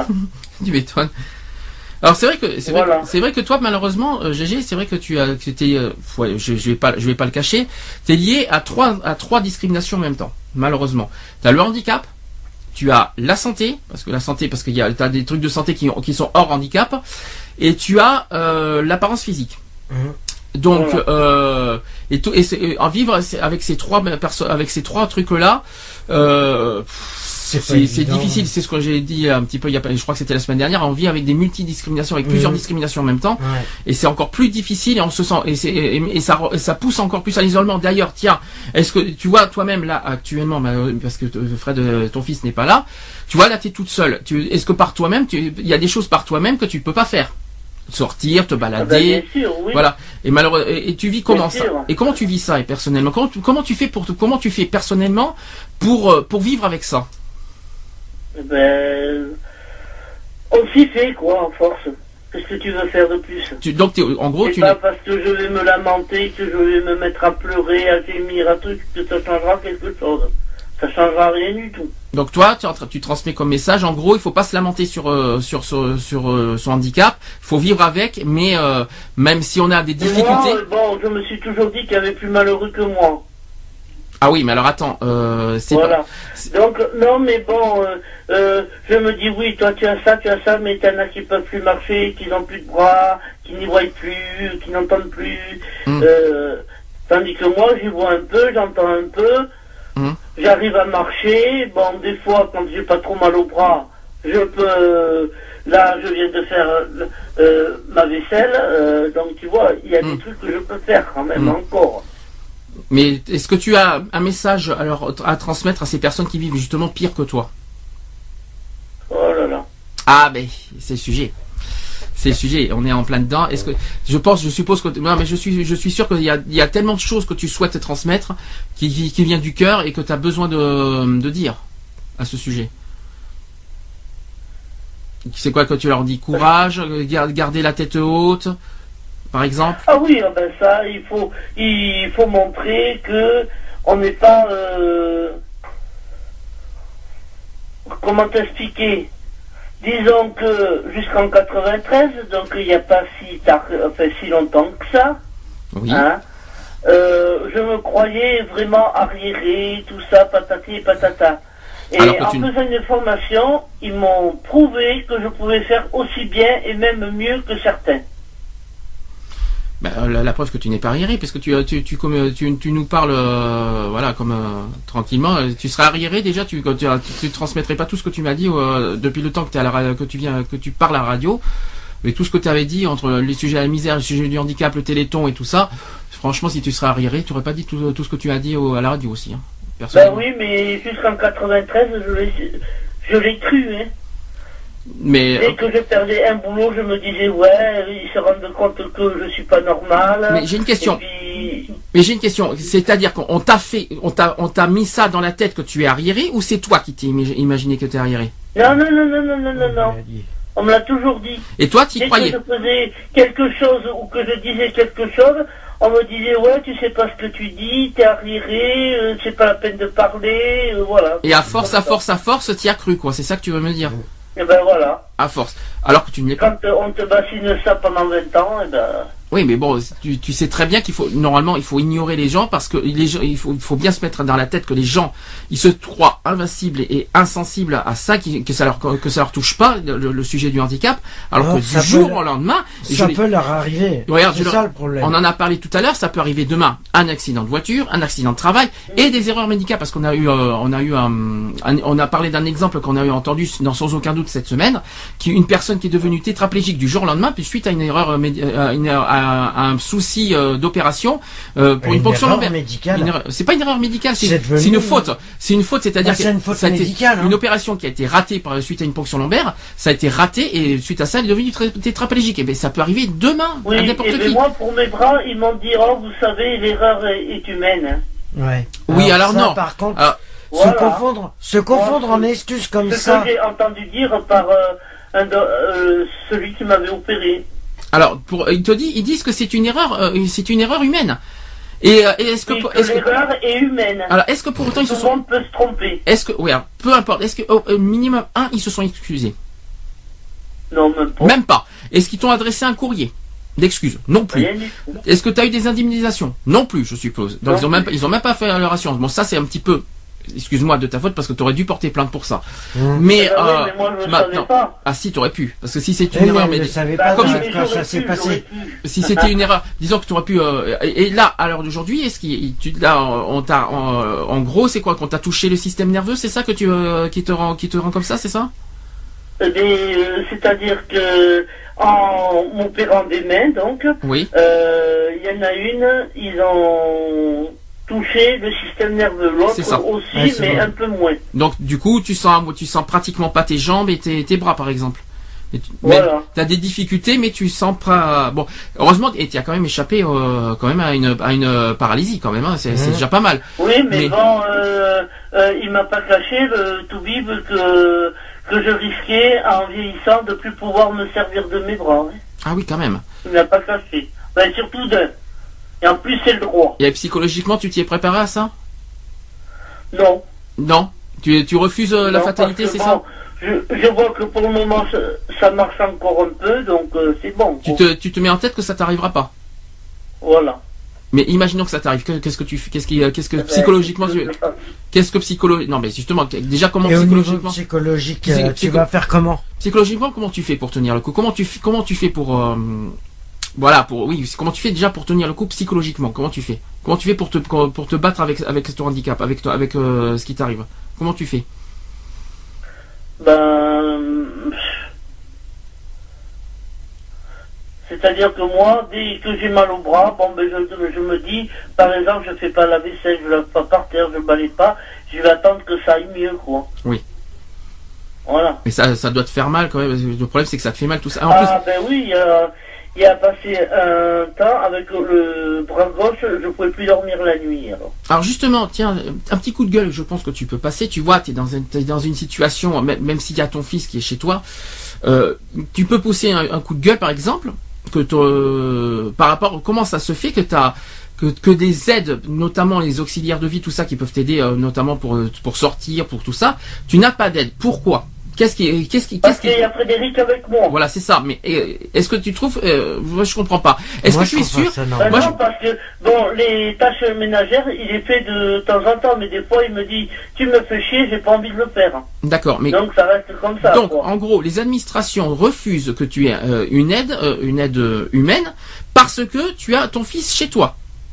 Voilà. Alors que ton fils, s'il travaille, tu fais comment Ah bah oui, mais Voilà bon, un pour exemple. euh, c'est un exemple. Peu, peu importe. Demain, il, il, il, entra- euh, il est embauché. Demain, il travaille la semaine. Tu te retrouves toute seule. Comment tu fais? Ben, je sais pas. Ben justement, c'est ça qu'il faut se dire. La défense, elle est là. Demain, euh, ton fils, il, il sera pas 7 jours sur 7, 24 heures sur 24 avec toi. La preuve, en ce moment, il est même pas là. On va être honnête. En Il est plus, même- il- en ce moment, il est pas là. Quand il t'arrive une tuile aujourd'hui, comment tu fais? Est obligé d'appeler les pompiers, tout ça. euh, c'est tout ce qui, c'est- tout ce que tu Bah peux oui, faire. euh, c'est tout ce que je peux faire parce que même si je tombe par terre, c'est pour ça que mon téléphone est presque à ras du sol. C'est pour que je puisse me traîner jusque dans la chambre et de, que je puisse appeler quelqu'un. t'es obligé de te traîner. Mais t'imagines, imaginons que tu fais un malaise, tu fais, on fait comment? Ben oui, ben rien. Non mais c'est un exemple, tu vois, j'essaie, j'essaie de faire comprendre un petit Voilà. message, tu vois, un, un petit message aux administrations qui comprennent pas un petit peu les, euh, ce sujet-là. C'est pas parce que t'es pas, t'as pas un fauteuil roulant que que que, ton, que ta situation mérite pas de d'aide humaine euh, euh, appropriée. Tu devrais, là, euh, ton fils, imaginons la semaine, il travaille du matin au soir, t'as besoin personnellement d'une aide humaine. Euh, bon, tu peux, bon, on sait, on, on sait que tu es capable de faire à manger. D'accord. Le ménage, tu peux pas, c'est pas possible. Euh, euh, besoin de sortir, tu peux pas y aller toute seule, par exemple. Non. Tu vois, tu as, besoin d'une personne avec toi pour que tu puisses sortir à l'extérieur. Là, ça veut dire que tu es obligé de vivre chez toi. Et imaginons qu'il n'y a pas ton fils, tu es obligé d'être isolé chez toi, sans aide, sans rien. Imaginons que, de- que, tu as besoin de quelque chose à manger, il n'y a personne pour t'aider. Moi, je trouve pas ça normal. Donc je trouve ça injuste, je trouve ça injuste au niveau des administrations qui se mettent, ils se disent tiens mais il y a son fils là, alors du coup pas d'aide, alors que ce- ils, ils ont pas imaginé le scénario en disant son fils s'il travaille ou s'il il est obligé d'aller à, à- je sais pas où euh, n'importe où, et ben que, que toi à côté tu n'as t'as pas de sécurité. Et là tu, tu en gros euh, en, en gros tu n'as pas une sécurité à côté par rapport à ça au niveau humain. Mhm. Et ça je trouve ça aberrant. Déjà que déjà que t'es dans t'es dans un dans un lieu très très isolé, faut, faut quand même le dire, dans la bonne vaste campagne de, de, de Tivier en Dordogne. Euh, t'aurais été à Bordeaux encore, ça va, t'aurais de, de l'aide, mais là, là où tu es, c'est pire. Euh, comment tu, je sais pas comment tu fais déjà moralement euh, pour vivre comme ça. Mhm. Et je te donne d'ailleurs tout mon euh, tout, tout mon respect et tout mon chapeau pour que par, par rapport à ce que tu fais parce que parce que dis donc euh, je sais pas comment tu fais personnellement et, si j'en parle c'est parce que ça me ça m'enrage de te voir dans cette situation. Justement. Ben oui, mais bon. Et justement si t'as un coup Tu de gueule demandes une aide, t'as droit à rien. Euh, quand tu dis aide humaine ou tu parles d'aide financière? Oh ben humaine surtout. Humaine. Toi, toi, là, là, ce que tu réclames, toi, c'est vraiment de l'aide humaine. Voilà, parce que bon, euh, je sais pas si si tu si tu te rends compte dans quoi je vis. Quoi. Ah ben si, je le sais, bien sûr que moi personnellement je le sais. Hein, parce Ah que oui. pour faire les fenêtres, je peux pas lever les bras. Donc les fenêtres, je peux pas les faire. Elles sont crado à la dernière limite. Hmm. Bon, par terre, de temps en temps, j'arrive à le faire. Oui. Je fais en, sorte que quand j'ai pas mal au, au bras, de faire quelque chose en gros. Euh, Et euh, Oui. Frédéric, lui, même bien souvent, il me regarde faire et il m'aide pas parce qu'il m'a dit qu'il n'était pas une femme de ménage. Ah bon? Ben, il a raison, hein. C'est un garçon et puis bon. euh, C'est un garçon, c'est-à-dire. Eh bien bon, euh, euh, pour moi, si tu vas par là, euh, je reste toujours dans ce truc-là. C'est pas lui à faire la vaisselle, c'est pas lui à faire le ménage. Oui. Tu vois, c'est pas lui à, et encore quoi que il, il l'a fait de plus en plus. Oui. Maintenant, la cuisine, il l'a fait de plus en plus, mais bon. D'accord. Euh, justement, alors je sais que tu vois, on a parlé de toi il y a, il y a à peu près 20 minutes. Tu te souviens qu'on avait parlé le- du 1er décembre sur l'histoire des viols? Alors je Ouais. connais, je connais ta réponse à l'avance et tu vas me dire ce que tu en penses parce que les femmes euh, qui sont handicapées seraient euh, beaucoup plus touchées que les hommes, notamment en matière de viol et de violence. Est-ce que jusque là Ouais. tu me suis? Imaginons, que- et, imaginons que, que, que, que les personnes euh, vont jusqu'à violer ou faire ou, ou frapper un handicapé. Pour toi, qu'est-ce que ça mérite? Oui. Moi, Oui. euh, pour le viol, excuse-moi si je suis cru, hein, mais je serai flic. Moi, pour ceux qui violent, je leur coupe les couilles et je leur fais avaler. Un. Oui. Deux. Pour les hommes, euh, jusqu'à maintenant, bon, malgré mon handicap, il n'y en a aucun qui a osé. Une fois, il y en a un qui, qui aurait osé, mais j'ai dit, toi, tu me touches, je te passe par la fenêtre. Ah oui. Ça a calmé direct. D'accord. Ah oui. Voilà. Bon, maintenant, comment j'aurais fait Avec mes bras, j'en sais rien. Mais bon, il n'était pas censé savoir que j'avais des problèmes au bras. Alors maintenant, au niveau des lois sur le handicap, est-ce que tu trouves que c'est assez bien reconnu ou est-ce que est-ce que tu Non, trouves pas du tout. Alors je vais essayer, justement, je vais répéter euh, notamment la loi du handicap du 11 février 2005. Je vais, je vais répéter que la loi pour l'égalité euh, des droits et des chances, la participation et la citoyenneté des personnes handicapées du 11 février 2005, c'est une loi française qui a été promulguée sous le gouvernement Raffarin. Alors en, en 2005, on recense plus de 5 millions de personnes handicapées en France, il faut le rappeler. Euh, je vais essayer de vous dire euh, une définition euh, de cette donc par rapport à cette loi. Euh, la loi, la loi, la loi. Est-ce que j'ai la loi? Alors il y a la loi en fait. Il y a une loi par rapport au à l'emploi, forcément. Et sur la principe Ah de oui. et sur la principe le principe de non discrimination, j'en viendrai tout à l'heure. Euh, en fait, d'après les actuels textes du Code du travail, aucune personne ne peut être écartée d'une procédure de recrutement ou de l'accès euh, à un stage ou à une période de formation d'entreprise et aucun salarié, salarié ne peut être sanctionné. Alors, euh, cette loi, c'est beaucoup plus sur euh, le- l'emploi. Faut être, faut être honnête. Et après, justement, en étant, en étant travailleur en, handicapé, Mhm. hein, on m'avait dit de le signaler à chaque fois que je trouvais du boulot. Enfin, à chaque fois que j'avais un boulot. Et à chaque fois que je le signalais, euh, tout d'un coup, il posait des questions, puis tout d'un coup, la personne, ah, mais ça y est, j'ai trouvé, j'ai plus besoin de personne. alors après, on parle de de la loi du 1880 Alors sur la- ça, je vais te dire, ça n'aide pas. hein. Pas du tout, hein, Alors, au contraire. Alors justement, continuons sur le sur la loi de 1881 qui eux euh, c'est sur la liberté de la presse. Euh, que pour eux, euh, notamment le délit de presse, la loi accorde des libertés mais définit aussi ses limites pour les garantir. Il existe des délits de presse, notamment euh, provocation au crime ou au délit, qui instaurent des responsabilités individuelles et collectives à la fois euh, depuis le distributeur jusqu'à l'éditeur de publication. Ensuite, il y a, il y a c'est puni aussi pour les provocations, c'est l'article 24 euh, et aussi l'article 23 euh, sur la loi de liberté de la presse. Alors la provocation au crime et délit est punie.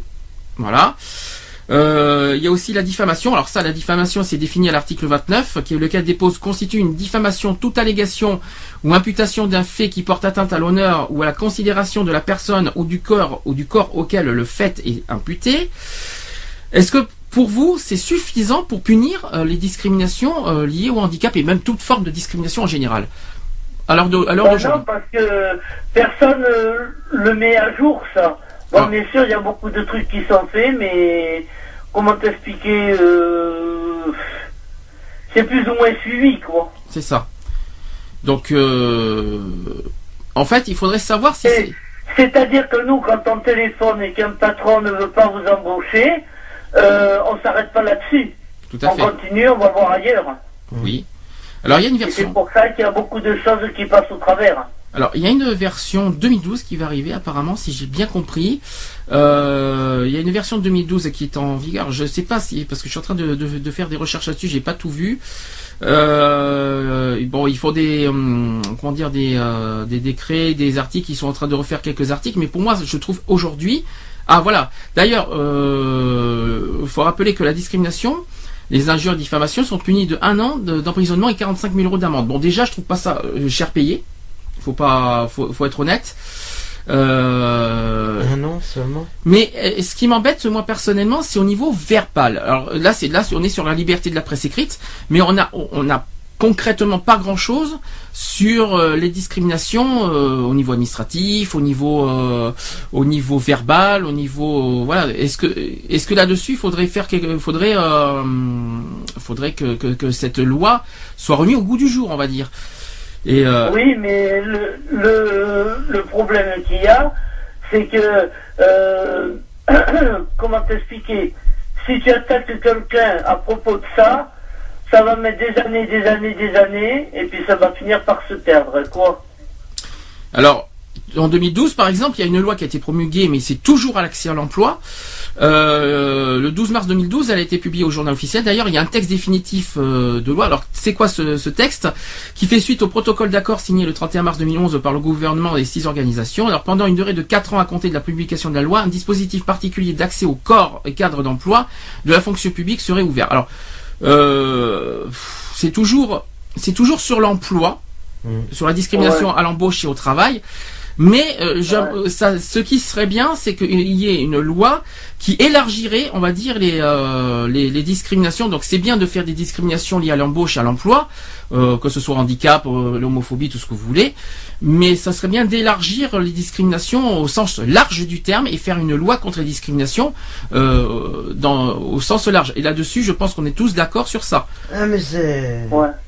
Mais c'est sûr que là-dessus ils doivent euh, ils doivent rev- revoir leur truc parce que bon le comme je disais tout à l'heure le handicap il est il peut arriver à n'importe qui. Et après voilà il faut qu'ils fassent en sorte pour que ça soit reconnu euh, que le handicap que ça soit n'importe quel handicap que ça soit pas reconnu simplement au niveau du travail mais en général Oui, voilà, c'est tout à fait ça. Faudrait que la, oui, parce qu'effectivement, on a tendance à s'imaginer que la effectivement, comme tu dis, que bien- la discrimination elle est simplement liée au travail Eh ben, non pas du tout Euh, non, Pas du non, tout. C'est pas lié au travail, c'est que c'est reconnu au travail. Oui, c'est reconnu simplement au travail, moi, mais pas ça- dans les autres. Et moi, je trouve ça effectivement injuste que, ça soit reconnu uniquement dans le domaine du travail, alors que par exemple dans les administrations, euh, euh, c'est tellement euh, terrible de voir ça. Et d'ailleurs, c'est la première cause de discrimination au niveau de, l'handicap, c'est les administrations. Il faut, faut les administrations. euh, D'ailleurs, GG, tu nous as donné un exemple tout à l'heure. On t'a jugé euh, au niveau dans les administrations euh, pour, euh, pour par, par rapport à ton, handi- à ton handicap? Non. On t'a pas dit. par- je pense pas, hein. T'as per- t'as personne qui t'a jugé euh, dans les administrations parce que t'as un handicap? Ben, je pense pas, non. Et puis il vaut mieux pas pour eux d'ailleurs. Ah, vaut mieux pas, oui, je tiens à le préciser. là, euh, Est-ce que, mais euh, pareil, euh, est-ce qu'il y a des, des discriminations que tu vis et que qui sont pour toi pas assez punies, qu'il faut et qui devraient être vraiment punies quoi? Et quel, et quel type de discrimination doit être puni pour à ton sens et réellement quoi, concrètement? Ouais, mais bon, comme je t'ai dit, euh, les lois, ils les font, mais une fois que tu essaies de l'appliquer, tu rencontres euh, beaucoup de problèmes.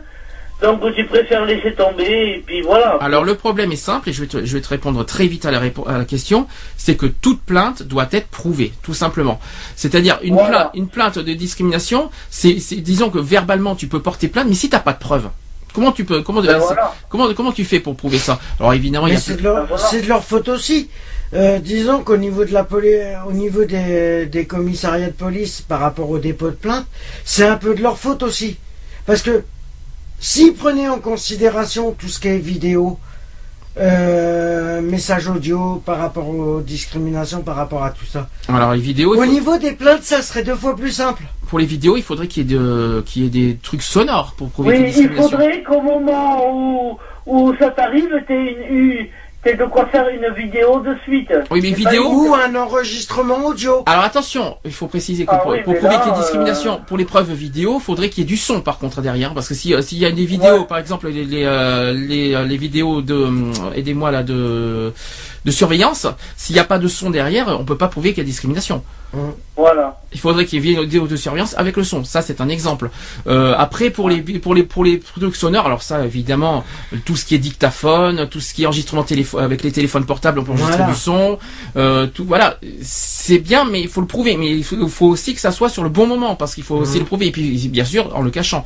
Est-ce que euh, est-ce qu'en France c'est reconnu? Oui Non. et non. C'est la ça police. le problème, c'est pas reconnu. Et Ils le prennent pas en compte. à la police, oui. Enfin, ils entendent, mais c'est pas reconnu juridiquement parlant. C'est ça le problème. Voilà. Euh, C'est qu'au niveau juridique, ça devrait être reconnu, mais ils veulent pas se, ils veulent pas se prendre la tête avec ça. Juridiquement parlant, c'est vrai que c'est très très très difficile de, de prouver une discrimination. Alors justement, il faudrait élargir ce problème-là, bah, avec tout ce qui se passe en ce moment sur Internet et tout ça. Euh, et voilà, de, une fois pour toutes que la loi française euh, arrive à, à, à- prendre acte des, des preuves, mais toute forme de preuves, pas que des preuves écrites, ça c'est pas suffisant. Comment on va prouver quelqu'un euh, fait- des injures, des, des diffamations, des, euh, de- euh, tout ça au niveau verbal? Comment on va le prouver si c'est juridiquement On n'a pas le droit de. C'est pas, pas, c'est pas prouvable. Non, c'est pas. Si c'est pro- si tu peux Si, le prouver, peux mais c'est pas reconnu. C'est pas reconnu, oui. Tu peux le prouver. Tu peux, par exemple, je prends, je prends une, comment s'appelle une, une, un enregistrement en dictaphone.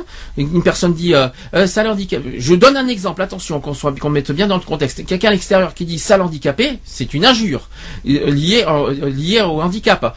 Euh, voilà, si c'est enregistré, quand, quand je, je dis à la police, la police l'écoute. Voilà, ils prennent, ils prennent acte tout ça. Mais une fois à la justice, la justice ne punit pas.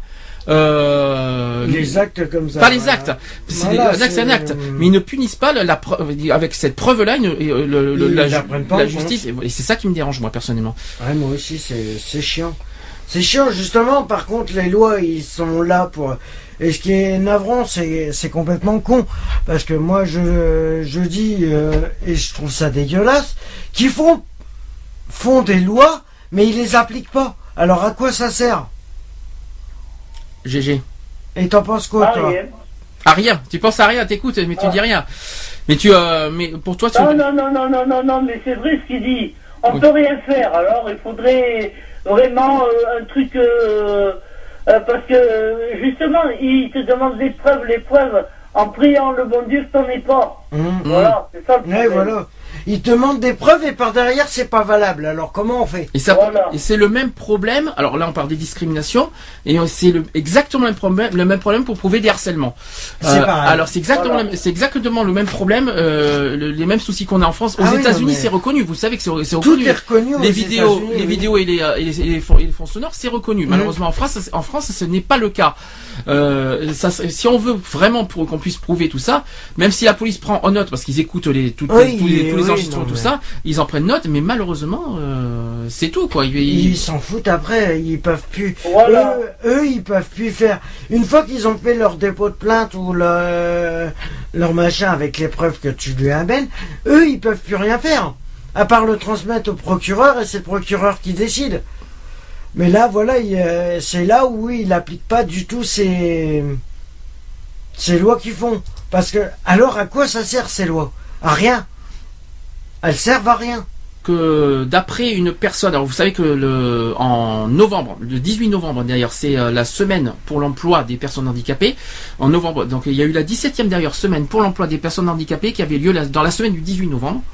Euh, la situation des handicapés ne progresse pas où on constate une augmentation de 60% de leur taux de chômage, parce que là on va revenir sur le handicap au niveau de l'emploi. Euh, donc une augmentation de 60% de leur taux de chômage depuis 4 ans. Et euh, Patrice Tripoto, qui est directeur général adjoint de l'association des paralysés de France, a souhaité euh, témoigner là-dessus. Euh, voilà ce qu'il a dit. En France métropolitaine, 2 millions de personnes de 15 à 64 ans ont une reconnaissance administrative de leur handicap. Euh, selon une récente étude euh, de l'adresse qui est au ministère du Travail, portant sur les chiffres de 2011. Alors je précise que là, ce sont des chiffres récents. Attention, là, nous, euh, ce sont des, c'est un truc qui, qui s'est passé en novembre 2013. Hein. là, là, l'étude de, des 2 millions, c'est une, c'est un chiffre 2011 selon le ministère du Travail. D'accord, vous suivez. Donc, par contre, le, le, le témoignage de Patrice Tripoto date de novembre dernier. Alors, il continue à dire, euh, Patrice Ripoto, il dit que ces personnes qui sont plus âgées et moins diplômées que la moyenne, 51% n'ont aucun diplôme ou seulement le BEPC, contre 31% pour l'ensemble de la population. Voilà ce que Patrice Tripoto a dit. En cas de plans sociaux, les personnes les plus fragiles en situation de handicap peuvent se retrouver en première ligne. C'est aussi une tension sur le marché du travail et inévitablement les personnes en situation de handicap qui partent perdantes dans la conquête de l'emploi. Ensuite, depuis 1987, la loi oblige les entreprises de plus de 20 salariés à embaucher 6% d'handicapés, d'handicapés sous peine de pénalité. Ça, je ne sais pas si vous étiez au courant. Euh, alors, je c'est pas, c'est pas respecté. Voilà, exactement. C'est pour ça qu'on va, on va le, bien le, le ressouligner là-dessus.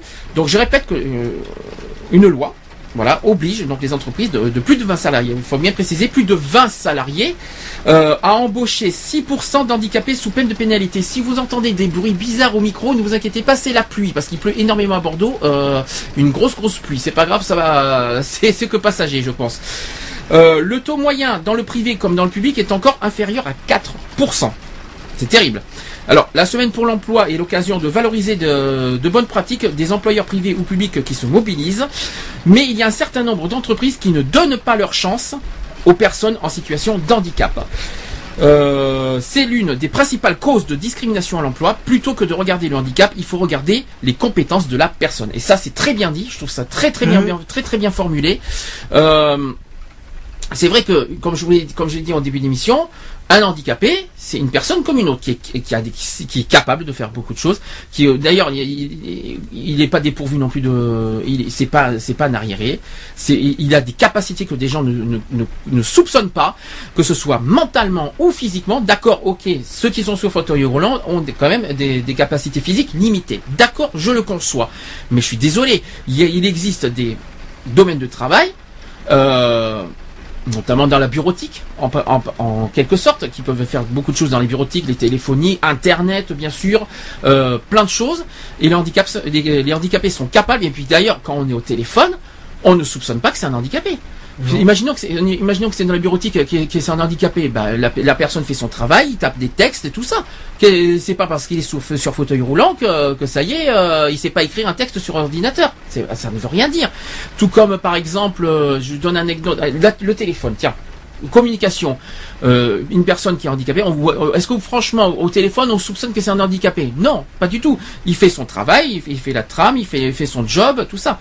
Donc moi je suis désolé, euh, les, des, handicapés sont capables de tout. Alors après il existe aussi des CAT par rapport à ça, sauf que les CAT, à titre personnel, je suis pas très pour les CAT parce que c'est assez mal vu déjà, je sais que les, handicapés ils sont obligés de passer par là, mais tout le monde dit pas forcément du bien sur, les CAT au niveau du travail et préfère plutôt une reconnaissance normale au niveau du travail dans une entreprise normale, reconnue, qui ne fait pas de CAT tout ça et qui travaille comme tout le monde, euh, voilà, comme toute personne. Et moi, je trouve ça normal d'entendre ça, euh, voilà. Je sais pas ce que toi tu en penses à ce sujet. Ben, moi, personnellement, au niveau de au niveau des entreprises, je trouve ça un peu dégueulasse que bon les employeurs ne respectent pas cette loi par rapport à ça, or qu'ils sont contraints euh, à plus de 20 salariés de embaucher des personnes handicapées, comme tu l'as dit, de 6%. Or, on s'aperçoit que c'est faux, puisque le problème il est que, en fin de compte, les patrons, ça y est, ils voient une personne handicapée euh, se présenter pour un poste euh, ça va pas convenir, c'est, euh, ça va pas convenir du tout à leur image. Mais qu'est-ce, personnellement, mais qu'est-ce qu'ils s'en foutent de l'image de l'entreprise? Mmh. Ils sont obligés d'embaucher des personnes handicapées pour les entreprises de plus de 20 salariés. De 20, de 20, 20 de salariés. 20 salariés. Or, qu'est-ce que ça a à voir qu'est-ce que ça a à voir avec le... C'est vrai que par rapport à l'image de, de l'entreprise, euh, c'est, euh, je trouve ça un peu dégueulasse parce que c'est mettre, c'est faire de l'exclusion euh, sans que, sans que les gens ont... Ah moi je dirais plutôt jugement moi parce que C'est exclusion et de l'exclusion par-dessus. que au départ, à départ, on juge ses capacités, Voilà. euh, alors que, alors qu'il ne leur donne même pas une chance, une petite chance de prouver, euh, Qu'ils voilà, sont, euh, qu'ils sont capables de, de, de montrer, voilà, voilà.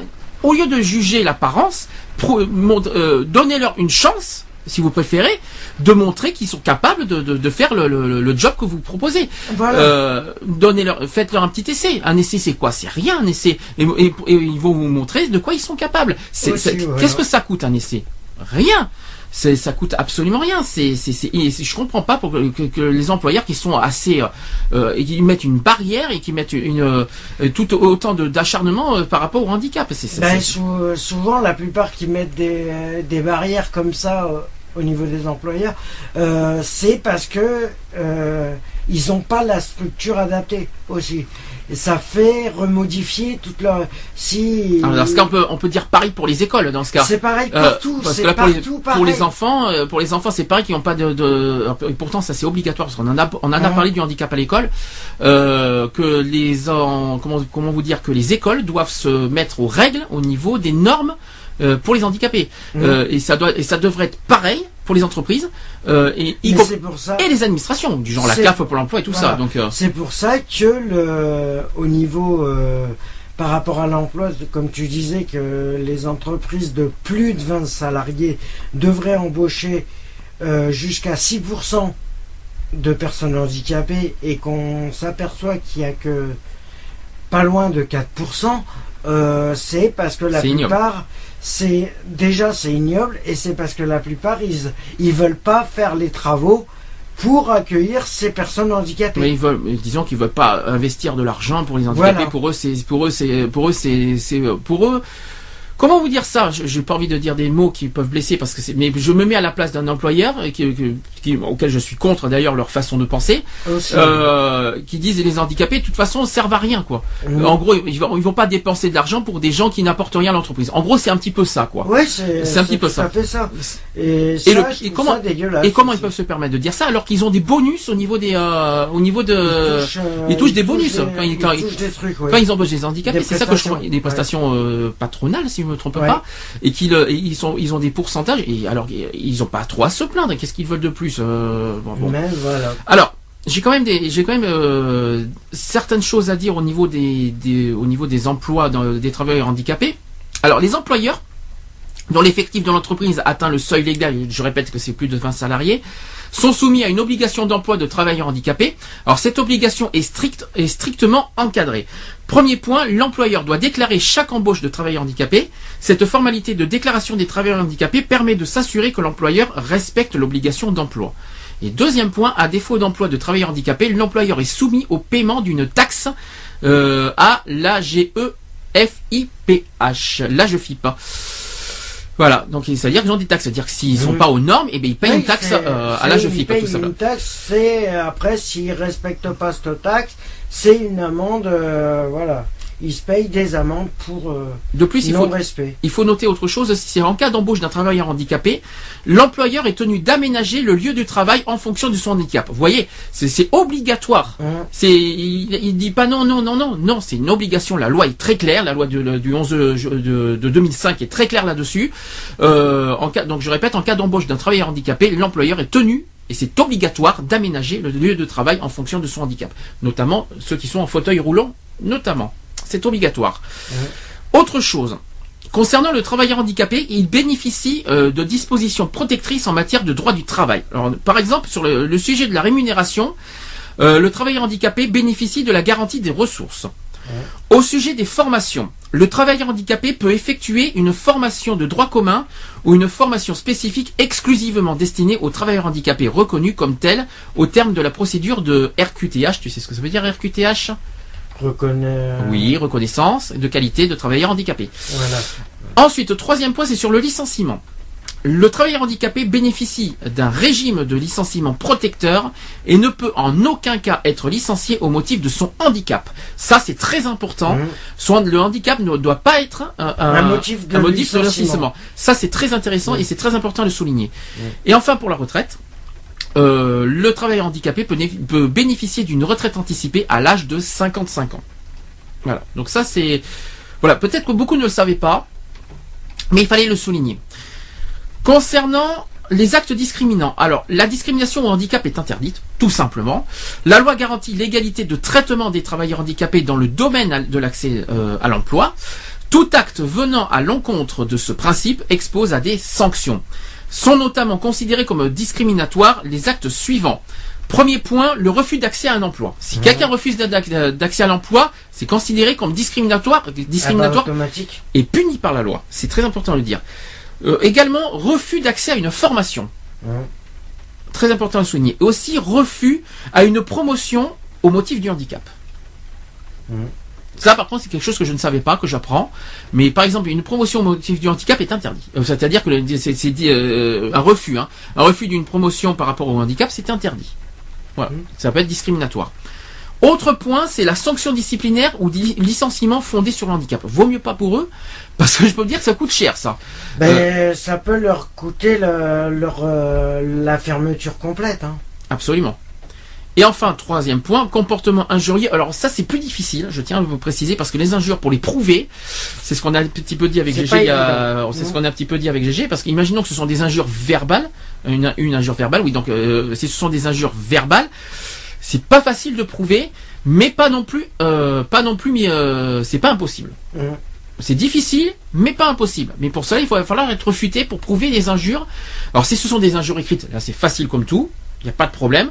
Si ce sont des injures verbales, malheureusement, là, il va falloir euh, trouver les moyens, les astuces, euh, et puis avoir des témoins, euh, tout ce que vous voulez autour de Et vous. dans ce cas-là, dans ce cas-là, c'est rare que les témoins. euh, Ah oui, parce qu'ils ont, ils ont peur de perdre leur, leur Voilà, emploi, tout ça, parce que s'ils font ça.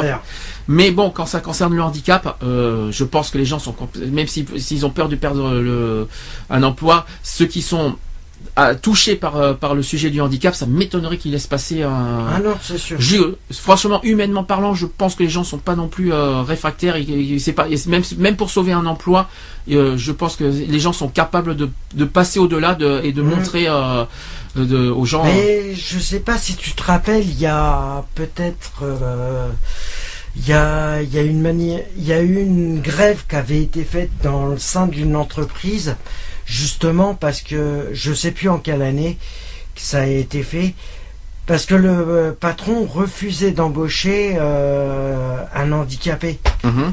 Et tous les employés de son entreprise s'étaient mis en grève pour faire intégrer ce- la, pe- la personne handicapée.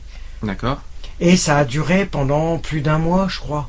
D'accord. Je n'étais pas au courant, non. Mais je voudrais pas dire de bêtises, je voudrais pas dire de bêtises, mais... euh, Et en fin de compte, la, la personne handicapée a été embauchée, et voilà. Par le soutien justement des personnes euh, qui ont fait grève euh, de l'entreprise. Et ça, je trouve ça... euh, Sachant qu'ils se connaissaient pas du tout. Mhm. Les personnes connaissaient pas du tout la personne handicapée. Et voilà une image de solidarité envers euh, et de respect envers les personnes handicapées.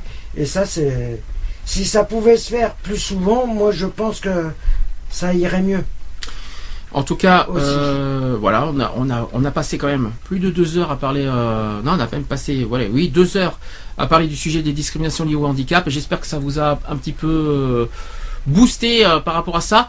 Je, j'espère deux choses. Enfin, le but de, de, de ce sujet, c'est bon, il y a plusieurs choses. La première chose, c'est que je souhaite que, que la, la loi contre les discriminations soit élargie. C'est-à-dire que pour moi, c'est pas suffisant. Euh, je pense que un an, c'est pas cher payé. Non, Un an de sûr. prison, c'est pas cher payé. 45 000 euros d'amende, bon, d'accord, ça c'est pas mal, mais un an de prison, franchement, c'est pas, c'est pas terrible.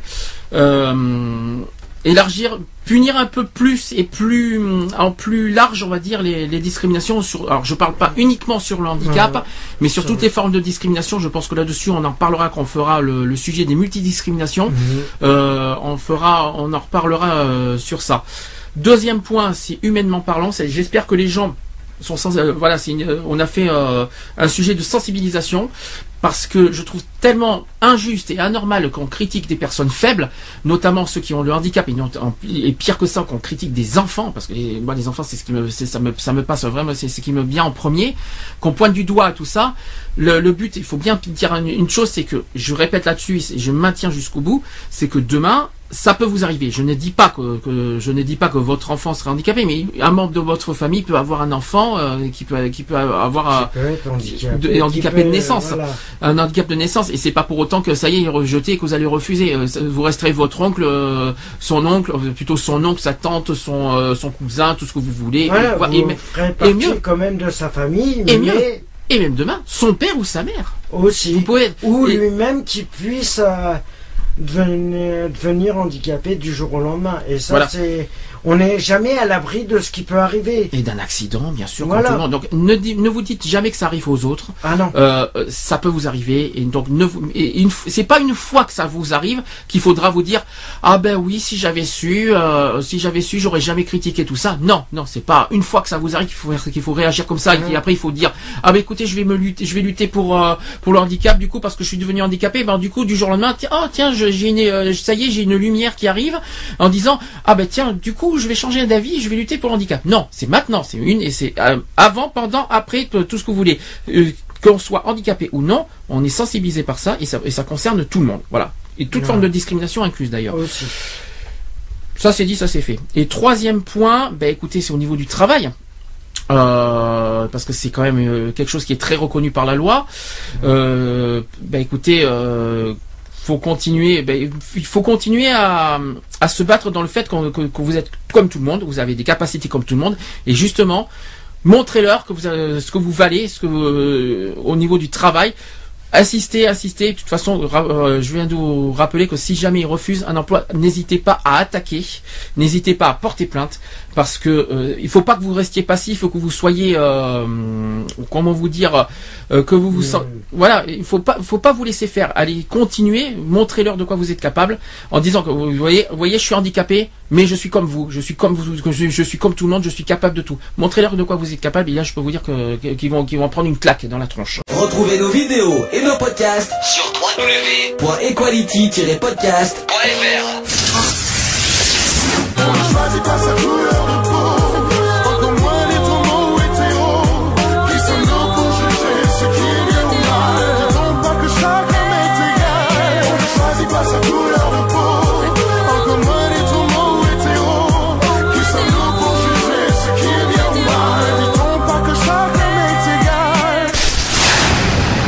Voilà, c'est fini. À très bientôt.